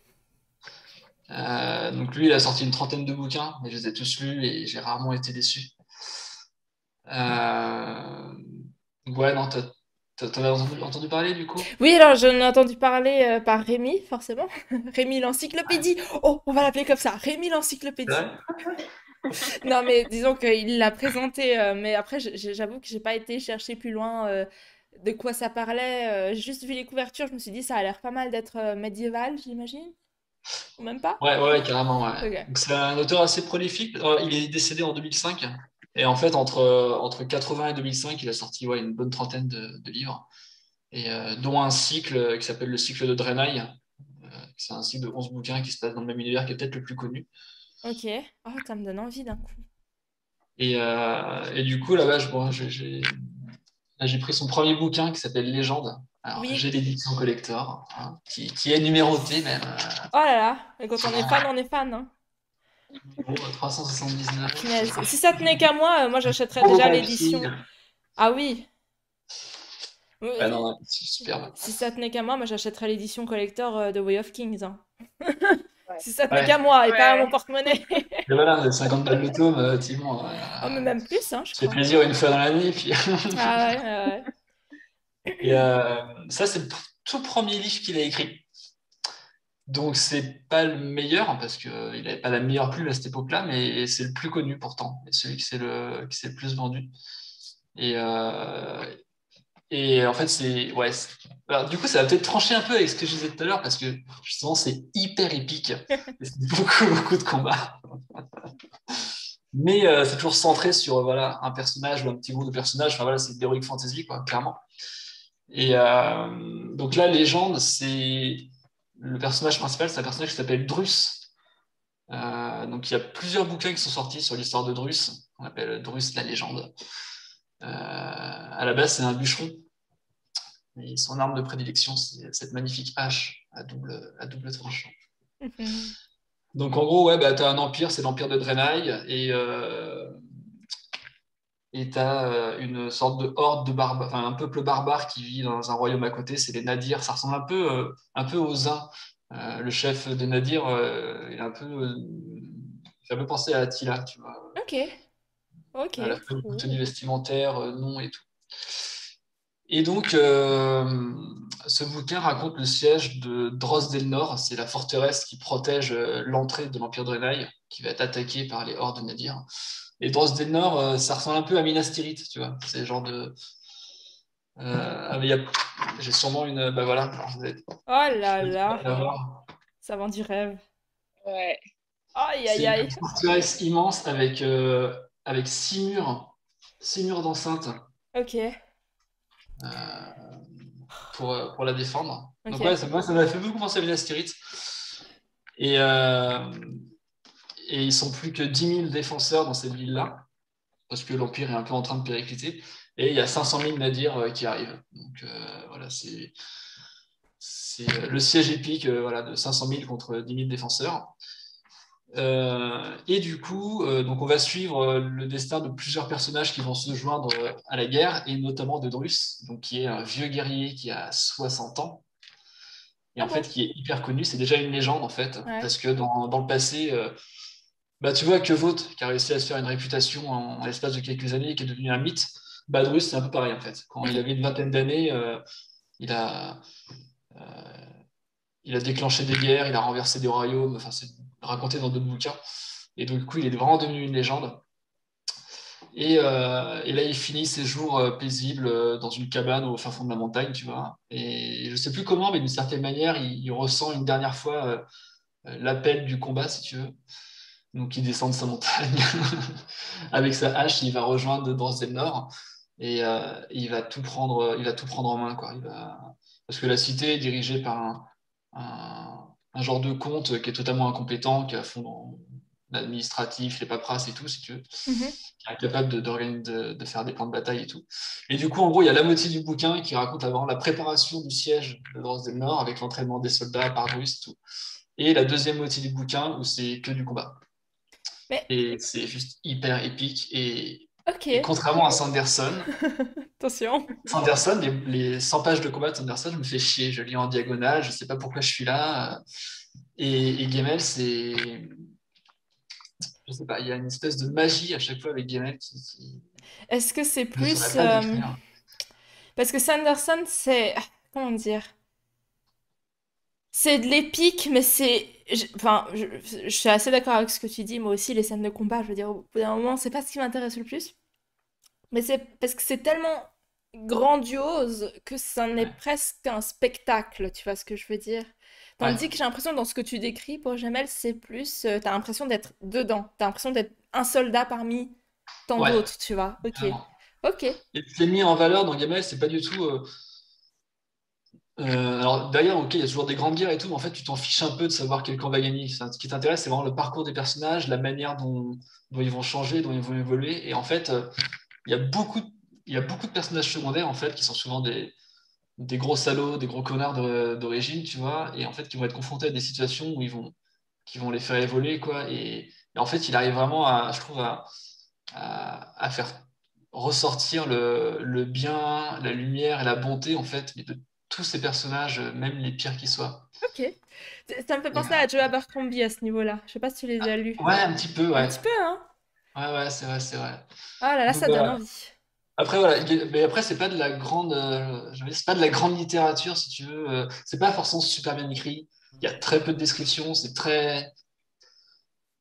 Après, sa plume, c'est c'est, euh, aiguë- affûté, on va dire, au, au fil des années. Mais ça, c'est le premier bouquin qu'il a écrit. Et c'est très, c'est très brut, on va dire, quoi. Mhm. On, on- on te Ça demande peut, ça peut combien... dérouter. Pardon, De excuse-moi. quoi? Je dis, on demandait combien de... Il y, avait de tomes, en fait. T'as dit... euh, Dans le cycle de Donna, il y en a 11. Mais donc ça, il fait pas partie de... du cycle. Il fait partie du cycle. Ah, ok. Ok, Ah ok, ok. ok. Pardon, excuse-moi, continue, je t'ai coupé parce que Ouais, non, mais il y avait la voilà, question. voilà. Du coup, des bouquins sur Drus, il y en a quatre, je crois, qui parlent de Drus dans le cycle de Draenei. Euh, mais, mais voilà. Ils sont pas forcément. Ils sont, les livres sont pas forcément à lire dans l'ordre d'écriture. C'est-à-dire que l'ordre chronologique des événements n'est pas du tout euh, l'ordre d'écriture euh, des Ok. bouquins. Et du coup, le premier qu'il a écrit, mais voilà, Drus a 60 ans dedans, tu vois. Et donc tu commencerais... Tu... Enfin, tu, tu, euh, tu conseillerais de commencer avec celui-ci? Non, moi je conseille l'ordre chronologique. Ok, donc qui est... Parce que... Parce que Dis-moi ça- parce le que cycle j'ai... de Draenei, il se déroule sur euh, genre 3000 ans, tu vois. Ok. Alors c'est quoi le, le premier? C'est euh, Waylander. Waylander. Ok, j'ai l'impression que je vais craquer parce que je sais pas, tu m'as donné beaucoup trop envie.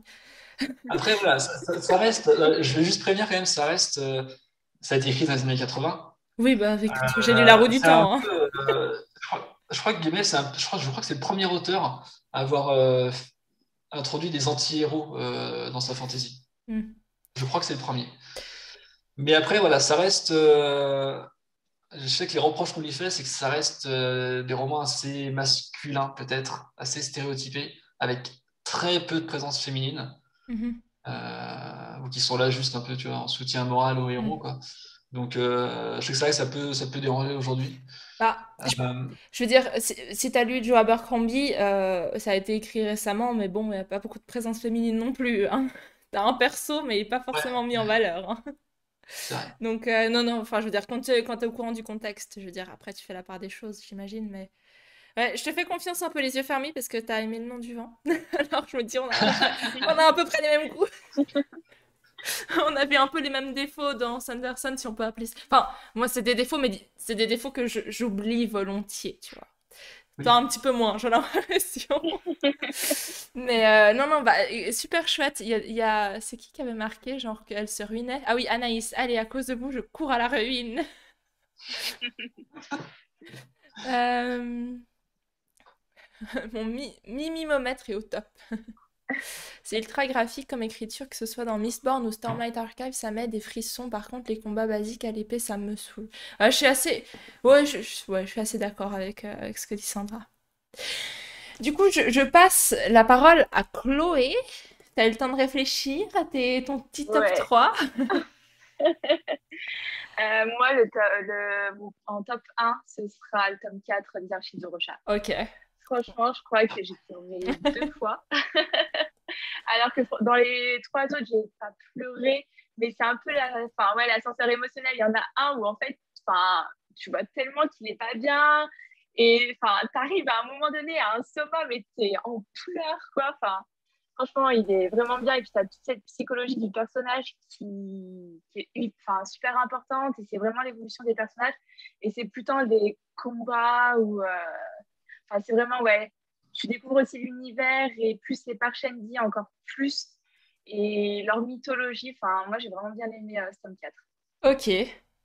Bon, bah voilà, il faut poursuivre, hein, David, t'as vu? Ouais, franchement. tu l'as terminé, Storm 4 Ouais, ouais, ouais. Moi j'ai lu en anglais, donc. Euh, Mais euh, en français, il arrive dans une semaine, là, ou deux semaines. Ouais. Après, je te préviens, il y a le personnage que tu as trouvé chiant dans le tome 3, il sera chiant dans la plupart du tome 4. je sais même pas de quel perso vous parlez, vous me le dites pas, hein, mais parce que moi, il n'y a aucun perso que je trouve chiant. Ah si, peut-être, peut-être que je vois duquel vous parlez. Ben, moi, je la trouvais, enfin, je le trouvais pas tant chiant. Enfin, ouais, non, dans le tome 1 et 2, ça allait.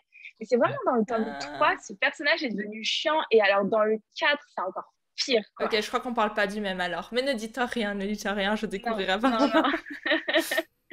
Mais non, sinon, il y a un autre personnage. Enfin, moi, je l'aimais trop et vraiment, c'est. Euh, c'est plus. Euh, tu vois une autre personnalité de lui et. Enfin, voilà, c'était vraiment bien. Ok. apparemment, elle a compris. De Super euh, Petite parenthèse, il y a Bastien qui dit Je conseille de lire Légende en premier perso.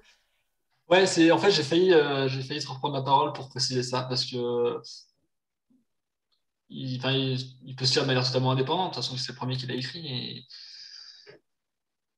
tu ouais, tu peux. Ok, bon. Tu peux, et puis si ça te plaît derrière, tu reprends dans l'ordre chronologique. Parce que ça, si tu commences directement avec le premier Waylander, bon, euh, il n'était pas il était pas tip top. Ok, je verrai, je réfléchirai. oui, du coup, Chloé, pardon, vas-y.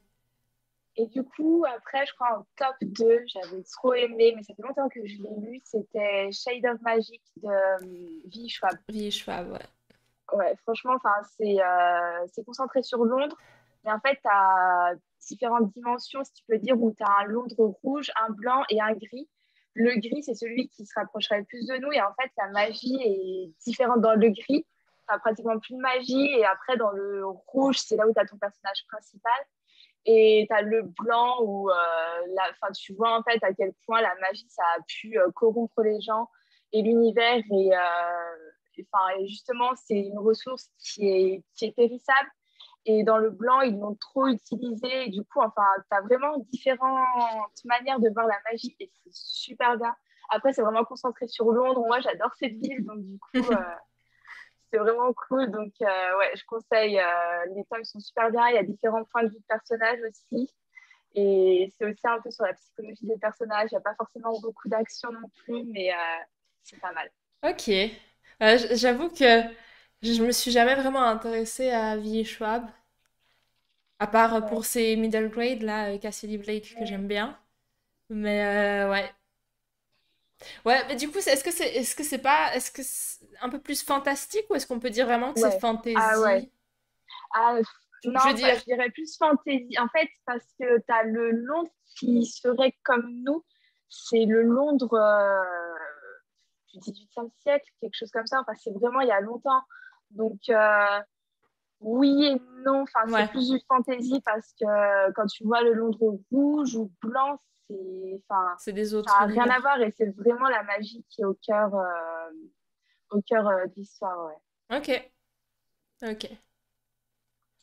Ok. Et en top 3, ce sera, c'est pas la fantasy, mais c'est un livre que j'avais lu à l'époque et j'avais trop aimé, c'est La fille du train de ah! Paula Hawkins. Moi, la première phrase, genre, euh, c'est euh, on est tout, enfin, on regarde tous les gens quand on est dans le train et on s'imagine une vie dans la maison ou euh, quand on voit ces personnes, on s'imagine leur vie. Et enfin, moi, c'est ce que j'aime bien, j'aime trop regarder quand je suis en voiture, regarder dans les maisons, imaginer comment c'est ou comment les gens qui sont à l'intérieur vivent et comment tu peux te baser sur les apparences? Et en fait tu peux te tromper et enfin moi j'avais trouvé trop bien ce livre et la fin je m'y attendais pas du tout. Ouais euh, enfin j'ai ni lu le livre ni vu le film. Du coup j'ai aucune idée mais à chaque fois je le vois passer sur Netflix je suis est-ce que est-ce que c'est le moment où il faut que je le regarde?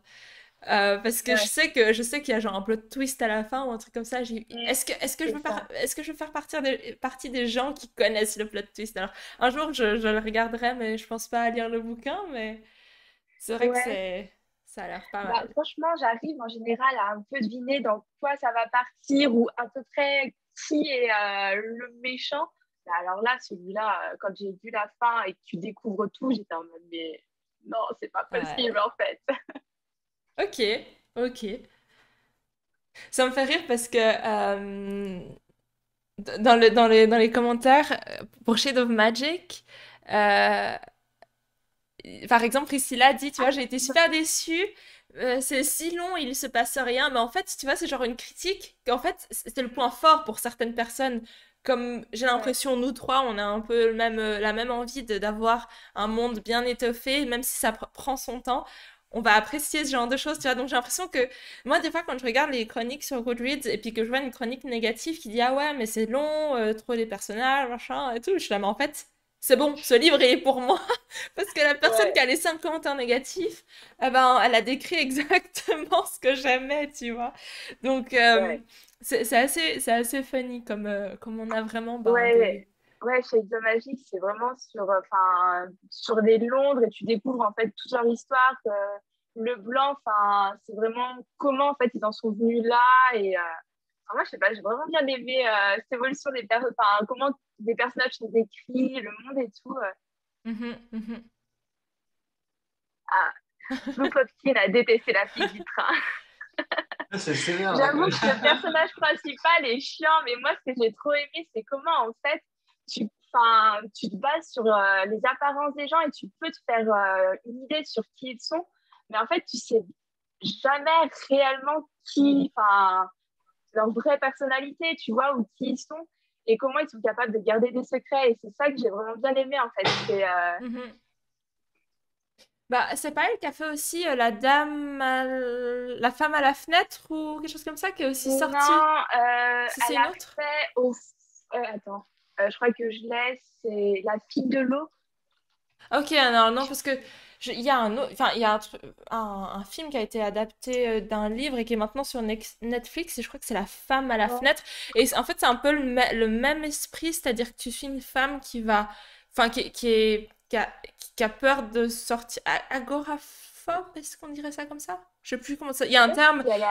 ouais. Voilà bref et du coup qui reste toujours chez elle et puis elle regarde par la fenêtre euh, en face il y a ces il y a, il y a un bâtiment puis en fait elle va je crois forcément voir un truc, un meurtre ou je sais pas quoi. Puis en fait, alors qu'elle signale le meurtre, la police ne reporte aucun accident. Du coup, elle est là, est-ce que je suis folle ou alors est-ce qu'ils ont juste trop bien dissimulé le truc et ils me font passer pour une folle? Et ce genre de d'histoire où tu Enfin, c'est un thème récurrent, c'est le unreliable character, où tu sais pas si genre tu peux lui faire confiance ou pas. Et j'adore ce genre de narrative, enfin de narrative. Ah, l'anglais. C'est pareil euh, pour euh, la fille du train, parce que enfin, elle est alcoolique. Euh, et justement, tu vois, elle connaît pas cette fille qui a disparu. Elle s'imaginait juste sa vie, en fait, parce que tous les jours, elle passait devant sa maison mhm. et qu'elle le voyait, enfin, elle la voyait avec son mari. Et un jour, cette fille disparaît. En fait, elle, elle s'investit à fond dans cette histoire, elle veut savoir ce qui se passe et tout. Du coup, c'est assez malsain. Yeah. Mais pareil, du coup, comme elle est alcoolique, tu vois, elle se dit, mais est-ce que euh, j'ai pas imaginé des trucs et tout Elle se met à douter d'elle et toi, du coup, tu doutes d'elle aussi. Enfin... Ah, c'est assez... C'est bien fait. C'est... Mais bon, c'est un, type de, de, scénario qui remonte à il y a très longtemps. Ils adoraient faire ça dans les romans gothiques. Ouais. Donc voilà. Est-ce que vous avez d'autres mentions? Je veux dire, on a encore un petit peu de temps. En fait, je vous ai même pas demandé avant le live, genre si vous aviez une heure de, départ, mais euh, on, a, on est à 1h20. Est-ce que vous avez d'autres mentions un peu euh, honorables, comme on dit? Hum, J'ai lu Skyward cette année et j'ai adoré. Ah, tiens, tiens. Et j'ai enchaîné direct avec euh, Starside parce que fallait que je sache ce qui se passe. Ah, c'est moi qui l'a fini récemment. Euh. Ouais. Ah, je, je, vois juste un commentaire, ça s'appelle Fenêtre sur cour. Ouais, non, mais c'est encore un autre film dont je parle. Fenêtre sur cour, c'est Hitchcock. Mais l'autre film dont je parlais, c'est plus récent, mais je sais plus comment il s'appelle. Et si, je crois que c'est La fille à la fenêtre. Hein. Ouais, quelque chose comme ça. Mais euh... ah voilà, Skyward, Sandra est là dans la place. J'étais sûre que ça allait, ça allait trigger Sandra. non, mais Skyward, c'est bien, c'est bien. Tu l'as lu, toi, David, ou pas euh? Non, non, non, mais euh, il me tombe bien. Mais t'as lu autre chose de Sanderson à part les archives de recharge Je me rappelle plus. As lu, euh, Ah oui, Warbreaker. Mais t'as pas lu Mistborn ou Elantris? Non. Lis Elantris. Elantris, c'est dans ma bibliothèque que j'avais acheté sur, sur Momox. donc il est prévu. Ouais, ok. Pas pour cette année, je vais faire une petite pause Sanderson. Mais euh, Warbreaker, je l'ai pas encore euh, lu. Tu l'as lu, toi, Chloé? Non. C'était pas... pas avec toi la lecture commune euh? Non, c'était chez Mo. Ah, c'était chez Mo, ouais. C'était chez Histoire de Mo, ouais. Ouais, ouais, je... Mais justement, euh, j'hésitais à lire. J'avoue, je... dis ça pendant que Mo est pas là. Mais j'avoue que Warbreaker, c'est un peu celui qui me tente le moins dans les Sanderson. Je sais pas pourquoi. Euh, y a des points communs avec Rochard. Enfin, il y a des, il y a des personnes. Ouais, justement, c'est pour ça que tout le monde me dit ah, il faut le lire avant le, le, le il 3. Paraît, je m'en suis pas rendu compte. ah, tu t'en es pas rendu compte? Alors, c'est que c'est pas si obvious que ça. Parce que j'avais une théorie, mais ça impliquait un personnage principal. Mais du coup, euh, vu que tu dis ça. Ouais, mais quand ils ont euh, des noms différents entre chaque bouquin. Euh, ah, Du coup, mais dans le sens au niveau de l'histoire, tu vois, sauf erreur, on suit deux sœurs une va se marier, je sais pas quoi. Ouais. Et le système de magie, c'est avec des couleurs, sauf erreur? Ouais, ouais, le, système de magie est sympa. Ah, ah, il est sympa parce que justement, ce système de magie avec les couleurs, enfin, je, je, trouve ça un peu. Après, j'en sais rien, je l'ai pas lu, du coup, je fais que assumer, mais euh, je, je, trouve ça un peu simpliste. je, je sais pas, il faudra, il faudra que je le lise de toute façon. Je pense euh, essayer de le caser avant le 3 quand même, juste par euh, conscience, euh, me dire ok, au moins je l'aurais fait. Mais ouais, je sais que. Non, il était pas mauvais. Hein. Mais Landris, franchement, ça reste quand même au top, hein, selon moi. Voilà, voilà. Sinon, moi, j'avais amené aussi Mhm. Du Mark Lawrence. Est-ce que ça a déjà lu ou pas? Euh, Mark Lawrence, non, j'ai pas lu. Il a fait, il a fait euh, en anglais Prince of Thorn. Il a fait Red Sister, je crois. Voilà, bah, c'est celui-ci, hein, je crois. Euh, ouais. Je, sais pas si c'est l'équivalent. Si, c'est ça. Est-ce que c'est bien parce que j'ai vu pas mal de retours mitigés, bah, en tout cas pour cette série. En fait, moi, l'auteur que je trouve le plus proche de lui, c'est Abercrombie. Hmm. Bon, bah alors ça peut me plaire. Euh, T'as lu ou pas Chloé? Lawrence Lawrence, non. Mais du coup, si tu dis que ça ressemble à Abercrombie, euh, ça peut être pas mal. Tu l'avais lu Abercrombie, Chloé? Ouais, ouais, moi c'était quand il y avait deux choix, non? Ah, mais tu as fait la lecture commune en plus. Ouais, ouais, euh, les ouais. Mais j'ai lu que le premier tome pour l'instant, j'ai pas encore lu la suite. Ok, la suite, est, la suite est pas mal, franchement. Mais oui, donc euh, si ça ressemble. Moi, je trouve le, style d'Abercrombie. Bah, je sais pas pourquoi, je sais pas trop pourquoi je dis ça en fait. Mais euh, je le dis instinctivement, mais je saurais même pas l'argumenter vraiment. C'est un feeling. Des fois, les feelings, il, faut les suivre. Ouais, ouais, non, mais. C'est un feeling. Et en fait, ce qui est sympa chez Mark Lawrence, c'est que c'est de la fantaisie. Tous ses livres, c'est de la fantaisie euh, post-apo. Ah, ah, je suis pas fan du post-apo. Ouais, mais tu t'en rends pas forcément compte. Tu t'en rends pas compte?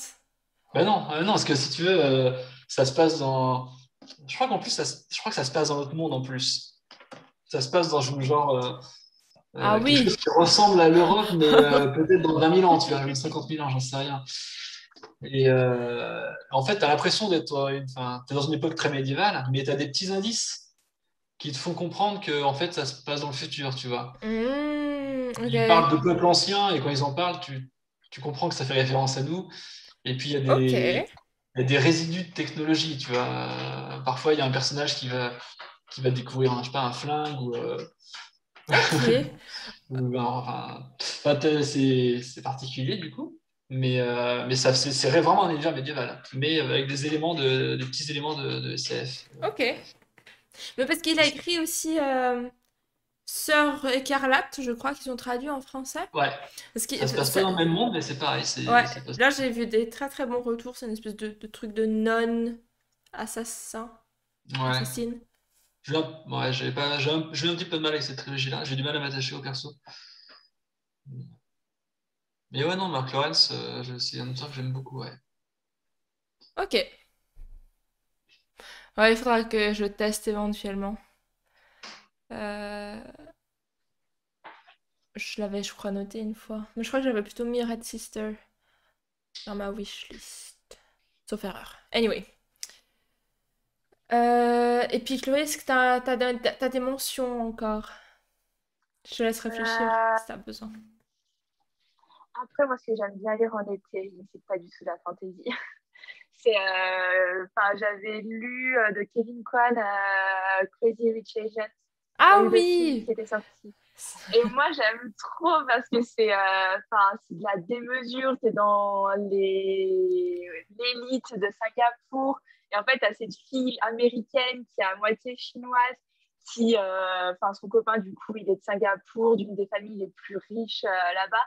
Et elle est propulsée euh, dans ce monde. Et, et je trouve que c'est dans la démesure. Et à dire l'été, c'est pas mal. C'est une lecture facile et ça passe bien. C'est comme quand tu regardes les. Comment ça s'appelle? Real... Real Housewives ou un truc comme ça. Ouais, du truc où tu te dis, mais comment les gens peuvent vivre dans une ignorance pareille du monde qui les entoure C'est ça, où tu sais, genre, bah, du coup, euh, lui qui est dans une des familles les plus riches, forcément, euh, toutes les filles sont jalouses parce que elle, une fille, tu vois, genre, elle n'a pas forcément les moyens et du coup, en fait elle y va parce que le meilleur ami de son copain va se marier. Donc, du coup, elle est invitée à un moment donné à la fête euh, de l'enterrement de Big P. Et du coup, ces filles, elles lui font des coups euh, pour euh, faire en sorte qu'elle quitte Singapour. Mais enfin, c'est dans la démesure, c'est vraiment genre télé-réalité ou film, mais franchement, je sais pas si ça passe bien. Je sais pas si j'arriverai à lire ce genre de bouquin. Je pense que ça, ça m'insupporterait. Ouais, mais ouais, je sais pas, moi, je, trouve ça trop drôle. Tu vois, oui, c'est bah tellement un monde. Ou même le deuxième où euh, c'est vraiment c'est plus sur l'élite de Hong Kong où c'est encore un niveau au-dessus quoi. Enfin, et justement tu as ces gens de Singapour qui disent mais euh, enfin c'est quoi ces gens euh, ces nouveaux chinois milliardaires c'est n'importe quoi et tout. Enfin, il y a tous une rivalité à ouais, bah, ça. Ouais épique, une rivalité épique, vu la démesure des choses. Euh, je, rebondis juste sur Joe qui dit techniquement Wheel of Time c'est post-apo.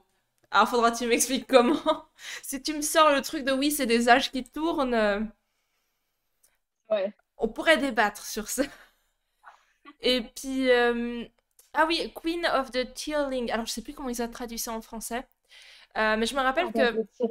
Ouais, ouais. Je, me rappelle, j'avais lu ce bouquin, j'avais pas vraiment aimé parce que justement, ça me fait pas. Comme tu disais, David, t'avais des. En fait, t'as un monde pseudo-fantasy, mais t'as quand même des espèces de technologies. Genre, il y a des cigarettes ou des espèces de, de... je crois qu'il y avait même des, des liseuses enfin il parlait de, de, trucs où tu pouvais lire tous les livres et tout puis j'étais là wait moi, j'étais vendue pour de la fantaisie, ok? Mais du coup, ça m'a tellement sorti du bouquin que j'étais un peu... En soi, l'histoire était bien, mais ça m'a tellement déboussolée que j'étais là, ah, ah, ah, non, la réalité, non Ouais, c'est le risque. C'est le risque de, sortir un peu du dépaysement. Euh. Ouais, je comprends, je comprends ta crainte. Euh, dans le livre des anciens de Lawrence, je tu sais qu'il y a eu des grandes civilisations éteintes avant la, leur. Ok, ouais, bah c'est ce que tu disais. J'essaie de voir les commentaires parce que je suis un peu. Euh, en français, ça donne quoi? Je crois que pour euh, Crazy Rich Asian, je crois que c'est la même chose, non? Ils ont pas laissé. Ouais, je crois pas qu'il les traduit. Hein. Euh, du coup, mais je suis, du coup, je suis plus sûre de quel livre on parle. On a, on a un peu changé vite de sujet. Ouais, Joe, mais ça se discute, ça se discute. Ça se discute. Parce qu'en fait, le début de Wheel of Time commence avec un prologue qui, en gros, en gros serait la fin d'une ère. Mhm. Mais est-ce que est-ce qu'il y a des éléments de notre monde? Je ne sais pas, je ne crois pas. le prologue du premier tome? Le, le, premier tome, ouais, le prologue. T'as un prologue où tu te dis What the hell? Qu'est-ce qui se passe? C'est hyper. Tu comprends rien. Moi, je me rappelle avoir lu ce prologue, j'étais là, est-ce que je veux vraiment lire ce livre? Et après, en fait, plus tu avances dans les tomes, et plus ça fait sens. C'est ça qui est assez magique. Ouais. Ouais. c'est clair, ouais. Sandra a la même réaction que toi. J'ai eu le même souci avec la Reine Rouge. La technologie dans la fantasy, c'est pas pour moi. Encore un, truc bien spécifique qui différencie les types de lecteurs. ouais. rien compris. Dans la, dans, la, Reine Rouge, c'est à limite la magie et la science qui se combinent d'une certaine manière. Donc ce serait de la science fantasy? Est-ce qu'on peut appeler ça comme ça? Euh, Ah. C'est un, sous-genre, du coup, je... ça peut peut-être être, être casé là-dedans. Je sais pas comment on définit la science fantasy, mais en gros, c'est un peu de, science-fiction et de la fantasy. Bah, c'est comme, euh, justement, vous avez peut-être vu l'interview avec euh, Bradley Pibolio, il a parlé d'un livre que j'ai trop envie de lire, qui est euh, Black Sun Rising. Et là, je, sais plus, je sais plus le titre en français, ça m'échappe. Le soleil. Non, je sais plus. Mais qui, justement, c'est de la fantasy, mais en même temps, c'est de la science-fiction parce que tu as des éléments magiques, mais je crois que ça se passe dans différentes planètes et justement ils sont revenus un peu à l'âge médiéval parce qu'ils ont perdu les technologies qui leur ont permis d'accéder justement à, à cet aspect science-fiction et du coup c'est comme si on passait de science-fiction à fantasy parce qu'ils ont perdu la technologie. Et du coup, je trouve ça super intéressant comme concept. J'ai vraiment, vraiment envie de le lire. C'est par C.S. Enfin, C.S. Friedman. Et puis, ouais, le fait qu'il ait adoré euh, qu'il, et qu'il en ait parlé, euh, ça m'a encore plus donné envie. Mais ouais. Ah, bah le steampunk. J'aime pas le steampunk pour cette technologie pas possible, donc un peu magique. Ouais, le steampunk, c'est pas trop mon truc non plus. J'ai jamais lu, donc. Euh. Moi non, bah, enfin moi non plus, mais je veux dire au niveau de de l'esthétique, tout ça. Je ne sais pas. Ouais.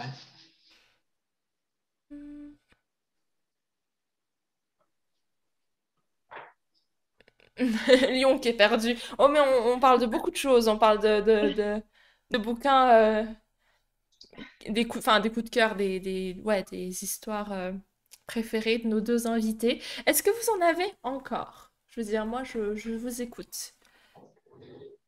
Oui. Euh, je réfléchis, vas-y. euh, j'ai des trucs, c'est pas forcément de la fantasy, hein, ou... Bah, c'est un auteur de fantasy quand même, euh, qui s'appelle Terry Pratchett. Hmm.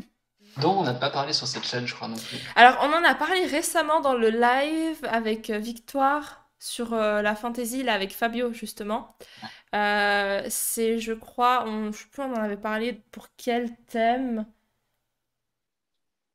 Je ne sais plus, mais on en a parlé parce que son copain est très très fan à Victor. Pratchett, moi de base, euh, j'en ai lu plusieurs de sa saga du Disque Monde et je suis pas super fan. Je trouve que ça va. Enfin, c'est un peu trop, un peu trop burlesque, un peu trop absurde pour moi. Mais il avait sorti une saga avec Stephen Baxter. Ah oui. Qui est un auteur de SF et de hard, de hard SF d'ailleurs, je crois. Et, euh, La longue et du coup, ça fait un mélange très très bizarre quand tu mets un auteur de fantasy bah absurde avec un auteur de, SF. Euh, donc ça s'appelle La Longue Terre. C'est une saga de cinq tomes. Et alors, si je me souviens bien, donc ça se passe dans l'autre monde, hein, Mhm. à l'heure actuelle. Et un jour, il y a quelqu'un qui, sur Internet, divulgue les plans d'un appareil. Euh, c'est juste, l'appareil, c'est une patate avec un fil. Mais, euh, c'est c'est Pratchett, hein, donc euh, voilà, faut Ouais, s'y non, mais quand même. C'est une patate avec un fil de cuivre et un commutateur, enfin je sais plus, genre un truc tout con que tout le monde peut faire chez soi. Et quand tu, tu construis ça, en fait, en actionnant le, le commutateur, et ben, tu passes dans une terre parallèle, dans un monde parallèle, Avec une pomme de terre. avec une pomme de terre. Et donc, d'un jour à l'autre, tout le monde se met à naviguer dans des terres parallèles. Mais genre, J'adore. Alors, l'Irlande, ils doivent, être très bons, hein, parce que des pommes de terre, ils ont que ça là-bas. Ah ben, en plus, c'est marqué sur le résumé. Un boîtier abritant du fil de cuivre, un commutateur et une pomme de terre. Ce passeur est la porte d'entrée universelle que tout un chacun peut fabriquer pour accéder à une infinité de terres parallèles sans présence humaine. Il suffit d'un pas euh, vers l'est ou vers l'ouest. Bah, je- Donc en fait, quand tu vas dans une terre parallèle, tu atterris dans, dans une terre qui est extrêmement ressemblante à la tienne. Et en fait, plus tu navigues, si tu navigues de 100 terres euh, vers l'ouest, plus tu vas arriver sur des choses euh, un peu différentes, quoi. Ouais, Et donc, euh, il y a des, des voyageurs qui, qui- qui naviguent sur la longue terre, qui vont naviguer de 1 million ou 1 milliard de terres euh, vers l'est ou vers l'ouest, et qui arrivent dans des mondes mais totalement what the fuck, avec des créatures totalement what the fuck. Ok. Et tu as l'aspect, tout, euh, tout l'aspect géopolitique, enfin, tout part en couille, en fait, parce que en fait, tous les problèmes qu'on a sur notre terre actuellement, je sais pas, de énergétique, de ressources, de surpopulation, de guerre, enfin tout en fait, euh, tout disparaît d'un seul coup parce que tout le monde s'éparpille euh, sur. euh, Mais c'est absolument génial, en fait.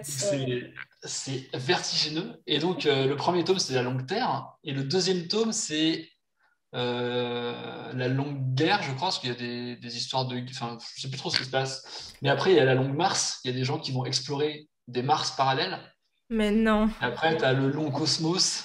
Le- donc, euh, ouais, non, ça part un peu en cacahuète. Mais du coup, au niveau euh, de, de- du style, est-ce que... Je veux dire, l'idée de base est absurde, mais géniale, comme dit Joe. Ouais. Euh, mais est-ce que ça se lit? Est-ce qu'il y a toujours ce côté très absurde dans la plume ou dans... Non, non, non. ça- le côté absurde, c'est vraiment dans le concept de base. Ok, ok, Après, tout le reste, c'est hyper, euh, entre guillemets, euh, sérieux, quoi. ok. Je veux dire, il y a des T'as du, commentaires... mal, t'as du mal à reconnaître la plume de, de Pratchett derrière. Des fois, tu la sens Hmm. transparaître dans des conversations avec des répliques un peu drôles et tout, tu vois. Mais hmm. euh, je, je le- je le conseille. Ah, ok. Bah, Ah oui, ouais. y, il y a juste une limite, je crois, c'est, je crois que c'est le fer, l'élément en métal, le fer, qui n'est pas capable de voyager euh, euh, Ah. d'un monde à l'autre. Donc, tu vois, ça pose problème dès que tu veux construire des véhicules. euh, pour... Alors, tu vois, il y en a qui, il y en a qui se baladent en dirigeable comme ça. Ok, Ah, mais à part ça, j'aime beaucoup. Je, je suis très intriguée. Je dois avouer que Ouais. je- ça me tente très bien d'essayer, parce que j'ai toujours eu peur pour Pratchett, parce que je suis pas trop fan des choses absurdes. Ouais. Bah, si tu me dis Ouais, que mais là, ça... du coup, ça n'a absolument rien à voir avec, euh, avec le Disque Monde. Ah, Donc voilà, c'était publié euh, aux éditions La Talente. Ne jamais sous-estimer les pouvoirs des pommes de terre. Ouais. Patataland. Ouais. Euh, bye bye Lyon, passe une, une bonne nuit. Euh, euh, Ah, parce que tu l'as en plus, Sandra. Oh là là, ça a l'air super intéressant. Faut vraiment que je découvre Pat- Pratchett. Bah, ça peut être un bon endroit pour commencer. Comment partir d'une patate, tu peux faire un truc comme ça, c'est énorme, quoi. Ça me fait penser, il y a des, il y a des dés, tu sais, que tu peux jeter qui, enfin, c'est des dés à histoire. Genre, tu jettes un dé, puis t'as des, t'as des symboles sur, sur les dés, puis tu t'es censé faire une histoire à partir des symboles que tu récoltes. Et du coup, je me dis, punaise, ça aurait pu partir de ça. hein. Mais j'en ai des dés comme ça avec des potes, on s'amuse à créer des histoires où tu lances les dés et euh, c'est euh, C'est ça. c'est quelque chose, quoi. Euh, du coup, euh, est-ce que Chloé, tu as en- encore des, des livres à mentionner que tu avais mis de côté? En tête comme ça, non.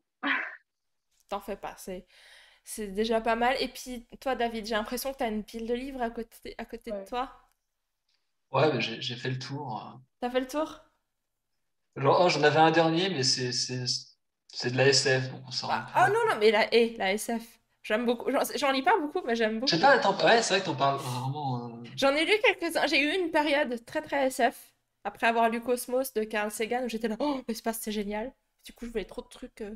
Et euh, après, c'est un peu parti. euh, Mais j'aime beaucoup. D'ailleurs, j'ai le seul SF que j'ai avec moi, enfin non, j'en ai deux. J'ai la suite de Le Moineau de Dieu et j'ai Anathème. Ah yes, faut que je lise mon autre Dieu. Ah oui, faut... En plus, ils, sont Non, en train ah, d'adapter. Enfin, j'ai vu passer ça, comme quoi il y aurait une série ou un film. Je crois que c'est une série euh, qui va être adaptée du Moineau de Dieu.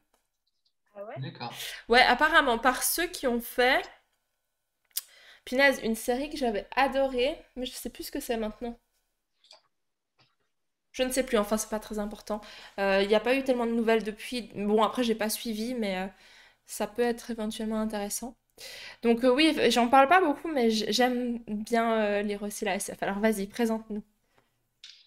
C'est un auteur allemand. Ah! Ça s'appelle euh, Jésus Vidéo. Alors, le titre est totalement pété. C'est quoi l'auteur? Andreas? Andreas euh, E- Eschbach, Ok, ok, ok, ok. De toute façon, on est parti de pommes de terre, donc je veux dire, on peut pas aller plus. Ouais. Le scénario est un peu pété aussi. C'est euh, en fait c'est, euh, près de Jérusalem, il y a une fouille archéologique euh, qui a été faite. Et euh, je regarde le synopsis en même temps parce que je me souviens plus trop. Ouais, c'est dans une tombe. des archéologues ont exhumé. Une vidéo de Jésus, c'est ça? Non, non, non, mais ce serait trop rapide sinon. Ils ont exhumé le manuel d'utilisation d'un caméscope qui n'est pas encore sorti. Oh, what the hell? Oh, j'adore. J'aime beaucoup, j'aime beaucoup. Euh, d'une caméra euh, dont la sortie est prévue dans trois ans. Du coup, ça laisse penser que dans trois ans, quelqu'un va voyager dans le temps avec un caméscope euh, dans la région de Jérusalem. Hmm. Du coup, tout le monde se met à supposer euh, que quelqu'un a, voulu, enfin, a peut-être réussi à filmer euh, Jésus, tu vois, voire même euh, la résurrection ou quoi, enfin, tu vois. Et du coup, euh, t'as, t'as plein de gens en fait qui, qui vont tout faire pour essayer de mettre la main sur la cassette du caméscope. Parce que du coup, s'il y a un manuel, c'est qu'il doit y avoir le caméscope qui traîne quelque part ou une cassette. Et du coup, tu as en fait tout, t'as à la fois une équipe d'archéologues qui essaie de le retrouver, tu as, le gouvernement d'Israël qui essaie de mettre la main dessus, tu as le Vatican qui envoie des espions euh, parce que du coup ils flippent, ils se disent mais si jamais il y a la preuve que Jésus n'a pas existé ou que c'était un homme normal et tout, il faut qu'on mette la main euh, sur la cassette avant. Donc euh, voilà, c'est une sorte de... Je ne saurais même pas le classer en fait, tu vois, c'est... Quel est, quel est le ton de l'histoire? Est-ce qu'il y a vraiment un propos assez sérieux? Genre, euh, peut-être des questionnements sur la religion et tout ça, tout ça qui en découle? Ou est-ce que c'est plutôt euh, Non, non, pas léger? vraiment. Comment... Plutôt quoi? Léger, genre euh, avec... pris un peu à la légère. non, ni l'un ni, ni, ni l'autre. c'est un juste milieu? Un peu une sorte, une sorte de thriller en fait, quoi. Ah, ok, donc plutôt dans le, Ouais, le truc. ouais. Ok. Hmm. Et puis il y a une suite qui s'appelle L'affaire Jésus, mais euh, qui, se qui se déroule en parallèle. Mais, mais voilà, je me souviens que j'avais, en fait, j'ai pas, j'ai pas énormément de souvenirs. Je me souviens que j'avais beaucoup aimé.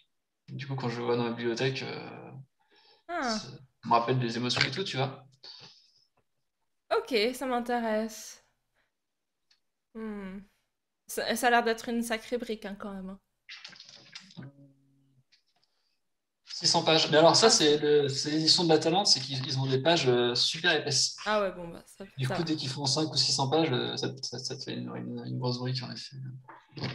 Ok, Voilà. interesting. Ouais, c'était très bien, j'ai beaucoup aimé ces recommandations euh, de vous deux. C'est des choses dont on, enfin, qu'on a même, comme tu, tu l'as dit, David, il y a plein de trucs dont on n'a jamais parlé sur la chaîne. Et d'un côté, tant mieux que vous veniez les présenter. Euh, Vi- Victoria Schwab aussi, j'ai pas beaucoup, euh, j'en ai pas beaucoup parlé. Euh, donc c'est chouette, c'est chouette. Euh, Sandra dit, il faut qu'on lise Hyperion, le tome 2, absolument. Vous avez lu Hyperion? Je l'avais acheté pour ta, ta lecture commune, mais je ne l'avais pas lu. Ah, Si, moi je l'ai lu pour la lecture commune, mais j'ai toujours pas lu la suite. Ouais, bah, il faudra éventuellement pour une, une lecture commune, il faut déjà que je les rapatrie ici, du coup, parce que je ne sais pas avec moi, alors que j'ai mes éditions, euh, je suis trop contente de les avoir. Euh, mais oui, en, termes de SF, c'est un peu avec Le Moineau de Dieu, la trilogie Spin, Hyperion. Est-ce que j'ai lu Skyward, si ça peut compter? Pas lu beaucoup plus de SF, j'ai l'impression. Punaise, j'ai un blanc, c'est terrible. Euh, j'ai une mémoire très très sélective. Euh, je voulais savoir quelle était votre plus grande déception de lecteur. Ah ouais, votre plus grosse déception pour... Enfin, on termine pas super bien avec ça, mais... ah oui, des fleurs pour Algernon aussi, j'ai lu. Ouais, c'est SF. Pardon, donc votre plus grosse déception. Hmm. Moi, c'est simple. C'est priori de l'oranger. Ce sera toujours... Parce que tu avais une grosse attente? Bah ouais, franchement, il l'avait tellement bien vendu, euh, des dragons et tout. Les dragons, ils sont là pendant deux pages. euh, euh enfin ouais, c'est c'est juste que c'était pas assez développé à mon goût. moi, je dirais euh, Dune. Ah bon? Ah ouais? Ah ouais, ça vient de casser tous mes. J'avais dit que j'allais Non, non, non, vraiment pas, parce que j'ai l'impression d'être un peu seul au monde. Euh, je, je sais pas, je, je crois que je l'avais tellement mis sur un piédestal. Euh, euh, pourtant, je suis pas rebuté par les vieux classiques de SF. Hein. je suis un grand fan de Asimov. J'ai adoré les fondations, les robots, etc. Et du coup, je m'étais dit, bah, Dune, c'est un peu la même époque, c'est un peu les deux piliers de la SF, tu vois, Herbert et Asimov. Du coup, ça faisait des années que je me disais, il faut que je lise Dune. Et je l'ai lu l'année dernière et j'ai vraiment eu du mal à aller au bout. Ça me enfin, il faut, enfin, je sais pas, c'était même limite pas trop de la SF, je trouvais. Euh, ouais, j'étais très déçu, mais par rapport aux attentes que, que j'en avais, quoi. Mais euh, force est de constater que 99% des gens qui lisent sont enchantés. Donc... Euh. Ouais. Mais bon, c'est toujours bien de se faire son propre avis, justement. Euh. Mm. Ok. Donc Dune, et puis Chloé Je réfléchis. J'essaye de regarder ma bibliothèque, mais le souci, c'est que genre j'ai viré tous les livres que genre euh, soit euh, j'avais plus trop forcément envie de lire maintenant ou que j'ai mis de côté, du coup je sais plus. Ouais, mais si t'en as pas, c'est pas grave, hein, je veux dire, d'un côté tant mieux. Ouais, je sais pas, après, sinon, si là je le vois ici, c'est la pièce de théâtre d'Harry Potter. Moi j'ai ah. détesté. D'accord. La pièce de théâtre, tu sais, Harry Potter, ah oui. ça. Ouais, le huitième tome. Celui-là, ouais franchement, ah, il y a une seule partie que j'ai aimée et tout le reste, j'ai vraiment pas accroché. J'ai l'impression que c'est un peu. Enfin, j'ai vu pas mal de gens aussi être euh, déçus euh, de, de, la pièce. Mais ça t'a pas fait plaisir de juste de, de, retrouver l'ambiance, on va dire, ben, au-delà du fait, que l'histoire était pourrie? Bah, juste, justement, c'est ce que j'aurais aimé si j'arrivais pas à rentrer dedans parce que c'est vachement centré du coup sur le fils d'Harry Potter qui, euh, enfin, moi, je le voyais vraiment, et c'est comme ça que j'ai retenu le truc, c'est ah, euh, je suis fille d'Harry Potter, tout le monde, euh, du coup, m'a signé à lui et tout, ma vie, elle est trop nulle. Et du coup, ça me gonflait, quoi, d'avoir ce gosse qui se plaint tout le temps. Et le seul passage que j'ai trouvé intéressant, c'est quand il remonte, je crois qu'il remonte dans le passé, et qu'en en fait, ils inversent du coup le combat Harry Potter-Voldemort. Et moi, ça, j'ai trouvé ça super intéressant, mais ça dure pas super longtemps non plus. Et du coup, après, j'ai nouveau décroché. Et franchement, moi, j'étais pas fan. Hein. Mmh. Sandra dit qu'il vaut mieux le voir en fait au théâtre. Je pense que et ça passe mieux, certainement. Je pense aussi, ouais. Non, mais il y a une... le truc, c'est qu'il y a une surmédiatisation de, de, la sortie de ce bouquin parce que c'était Harry Potter, c'était le grand retour. Du coup, euh, ils ont tous fait des caisses alors que ouais, c'est pièce de théâtre, donc c'est pas fait pour être lu. Quoi. Ouais, ouais. Tout à fait. Et euh, une autre question, du coup, pour terminer. Euh, team casse le dos ou team on fait gaffe? Corner les pages, tout ça. Ça va pas Non, non, ouais, non, moi je suis, je suis, je suis puriste. Enfin, je, je supporte pas les annotations, euh, les pages cornées. Euh... Ok Chloé? Ouais.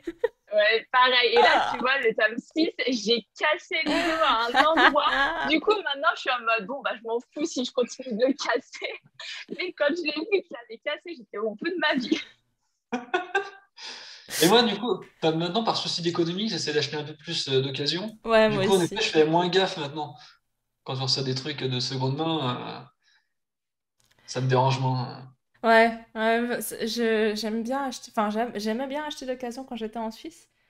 Mais là, en Suède, euh, pff, j'ai pas tellement de sites d'occasion, j'ai pas, j'ai pas trouvé.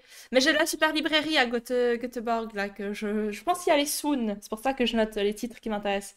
Mais du coup, mon dernier craquage, voilà, c'est celui-ci. Je sais pas si vous voyez bien Ouais. les... Hein? Ouais. Par contre, euh, je déteste les hardbacks. C'est chiant à lire, je, je peux pas casser. C'est horrible. Ouais, et puis c'est vite lourd en plus. Enfin, Ah moi, ouais. euh, le quatrième tome de euh, de recherche, il est en hardback. J'étais obligée de le poser sur un coussin tellement Bah ouais. c'était lourd et que ça me faisait mal aux jambes. Ouais. Aïe, aïe, aïe, je peux, je- ouais, c'est hyper frustrant de... En plus, Ouais. j'essaie de faire comme il a dit Beaulieu, tu sais, passer la main au milieu pour casser euh, juste le l'espèce de Oui. colle là, mais j'arrive même pas, je suis trop frustrée. On verra pas que je l'ai lu. Non, en vrai, j'ai, en vrai, j'ai corné une page. Non, on le verra sûrement pas à la caméra. J'en ai corné une, là. Euh, moi, cet après-midi, j'ai euh, un de mes chats, je sais pas lequel, mais qui a réussi à déchirer, euh, à griffer des pages et à les déchirer. Ça m'était jamais arrivé. De quel livre? Quand je dormais, en fait, je lisais sur mon balcon, je me suis endormi et mon livre est tombé euh, par terre. Ah ouais. Et quand je me suis réveillé, euh, bah, du coup, bon, c'est un livre de poche, donc c'est pas grave, mais euh, Ah pas si oui. voyez. Ah Ah oui. Ouais. Jusque-là, enfin, je, donc je comprends pas ce qui a pu le pousser à. Ah bah, Ouais, il n'avait pas aimé le livre, il s'est dit non. Ouais. Ou alors, au contraire, il a voulu essayer de le, de le tenir, tu sais, il s'est dit, ah, un peu de lecture. On sait jamais hein, ce qu'ils font les animaux hein, quand on, quand on les surveille pas. Euh, Donc oui, les, les hardbacks, ouais, c'est juste joli, effectivement, c'est juste fait pour être joli. Ouais. Euh, Et du ouais. coup, Sandra, euh, la pièce, tu l'as, tu l'as vue où? Parce que en- je, je crois pas qu'ils l'ont. À été Londres. Je crois encore. Enfin, si je peux Non. répondre pour Sandra, il me semble qu'elle l'avait vu à Londres, puisqu'il il le faisait que là-bas, sauf erreur. Mm. À moins qu'ils aient... Bon, peut-être qu'entre-temps, ils sont allés... euh, Je crois qu'ils sont partis à New York. Mais au niveau France, tout ça, euh, il ne me semble pas qu'ils sont encore venus. hein. Ouais, à Londres, elle a dit, ouais. Ouais. Mais j'avoue, je serais curieux de la, de la voir parce que je me souviens euh, quand je lisais les, les didascalies et tout, il y avait des trucs, mais j'arrivais pas à comprendre comment c'était. euh, Ouais. Il y avait plein d'effets spéciaux. Et puis les décors changeaient tout le temps. Enfin, c'était un truc de fou. Ouais. Mais pareil, je me disais, mais enfin, je disais, je me disais, mais comment ils peuvent faire ça en pièce de théâtre et le recréer en vrai? Enfin, je sais pas, ça me sortait vachement de ma lecture. Je me posais trop de questions aussi en le lisant. Ouais. Ah, je me rappelle que j'avais voulu euh, le voir, mais c'est... Enfin, euh, je crois que c'était un peu à, à peu près à la sortie. Euh, c'était tellement... Enfin, c'était complet tout le temps, quoi. C'était infernal. Ah, Hambourg bientôt, ok. Amérique, Australie, ok. Bah, bah, c'est pas tout près de chez nous. hein. Alors voilà, c'est un peu tout. Je crois qu'on a fait le tour. Est-ce que j'ai tout dit? Ouais, je crois que j'ai un peu tout dit. J'ai fait le truc euh, du tirage au sort. C'était chouette, hein? Vous avez vu? Ouais. Pas trop stressé? Merci, Bianca. Non, ça va. Bah écoutez, de rien, hein. Je suis trop contente de vous avoir. euh, ça change d'avoir des, des- d'autres personnes qui parlent, qui présentent des choses. Euh, J'aime beaucoup, beaucoup ce format. Donc s'il y a des Patreons sur le chat, je vous encourage à venir pour la prochaine fois, qui sera certainement un mercredi. J'aime bien ce... Au départ, au, au départ, je voulais faire jeudi, mais comme je disais à Chloé avant, il y a Game of Thrones qui recommence demain en live. Alors, soir, il y a Koh-Lanta, donc. euh, voilà. Euh, Mais après, je crois que Game of Thrones, ça va être de nouveau les mercredis. C'est juste Ah demain non! Ah bon, bah alors les prochains, ce sera peut-être jeudi. hein. Les prochains lives, donc, hein, de la chaîne, puisque j'avoue que je sais pas si vous connaissez sur le chat, mais euh, une chaîne de jeux de rôle euh, qui, font en live d'habitude, mais moi je regarde les replays, je suis à la saison 2, puis ils vont faire la saison 6 à partir de demain. Donc euh, je, je tiens à être là en live. Ah ouais, franchement, Pour une fois. Donc voilà, on recommande. Ah Quino, salut, comment ça va? Bah du coup, euh, bonsoir, au revoir. Malheureusement, on va, on va, on va terminer tout bientôt. Euh, j'espère que tu vas bien, Quino, euh, d'ailleurs, et que ta sœur aussi. Euh, le mercredi, je pourrais jamais. Bon, bah, bonne nouvelle, ça risque de changer à jeudi, du coup. Et euh, peut-être, alors je vous dis, je vous dis peut-être, c'est à 80%, 80% sûr, euh, que j'ai un live ce week-end avec Rémi, samedi après-midi. On va faire des petits quiz sur la roue du temps. Euh, donc j'étais en train d'hésiter en fait entre le faire en live et en le, f- en- entre, le- enfin, en live ou en, vidéo parce qu'au final il y aura peut-être pas beaucoup de monde vu que il y aura pas de spoiler mais euh, c'est un, c'est un samedi après-midi donc les gens ils ont autre chose à faire peut-être mais euh, on fera pas trop long puis au pire on mettra un replay de voilà, d'une heure ou une heure et demie pour pas que ce soit trop pénible non plus à regarder si ça vous intéresse. Donc voilà. On a fait le tour. Euh, du coup, je remercie tout le monde qui était là dans le chat, les invités, les Patreons. Merci les amis de soutenir la chaîne. Euh, ça fait vraiment plaisir. Euh, comme toujours, je sais, je sais pas comment dire merci, donc euh, je vais juste le répéter deux, trois fois. Merci, merci, merci. Et euh, Rémi, l'encyclopédie. On va, on va le garder. Franchement, on va tous y envoyer en MP. Rémi, l'encyclopédie. Euh, et du coup, euh, mais il n'y aura pas de spoil, Sandra, t'en fais pas. Du coup, voilà, c'est tout bon. Merci euh, tout le monde euh, d'avoir participé. Et puis, du coup, on- un dernier mot de la fin? Eh Non? ben, merci de nous avoir vus et euh, c'était vraiment cool, franchement, euh, pour euh, les autres Patreons euh, qui viennent. Voilà, voilà, vous avez passé le mot. Et euh, voilà, merci tout le monde. Et du coup, bonne soirée, bye bye. Bonne soirée. Ciao.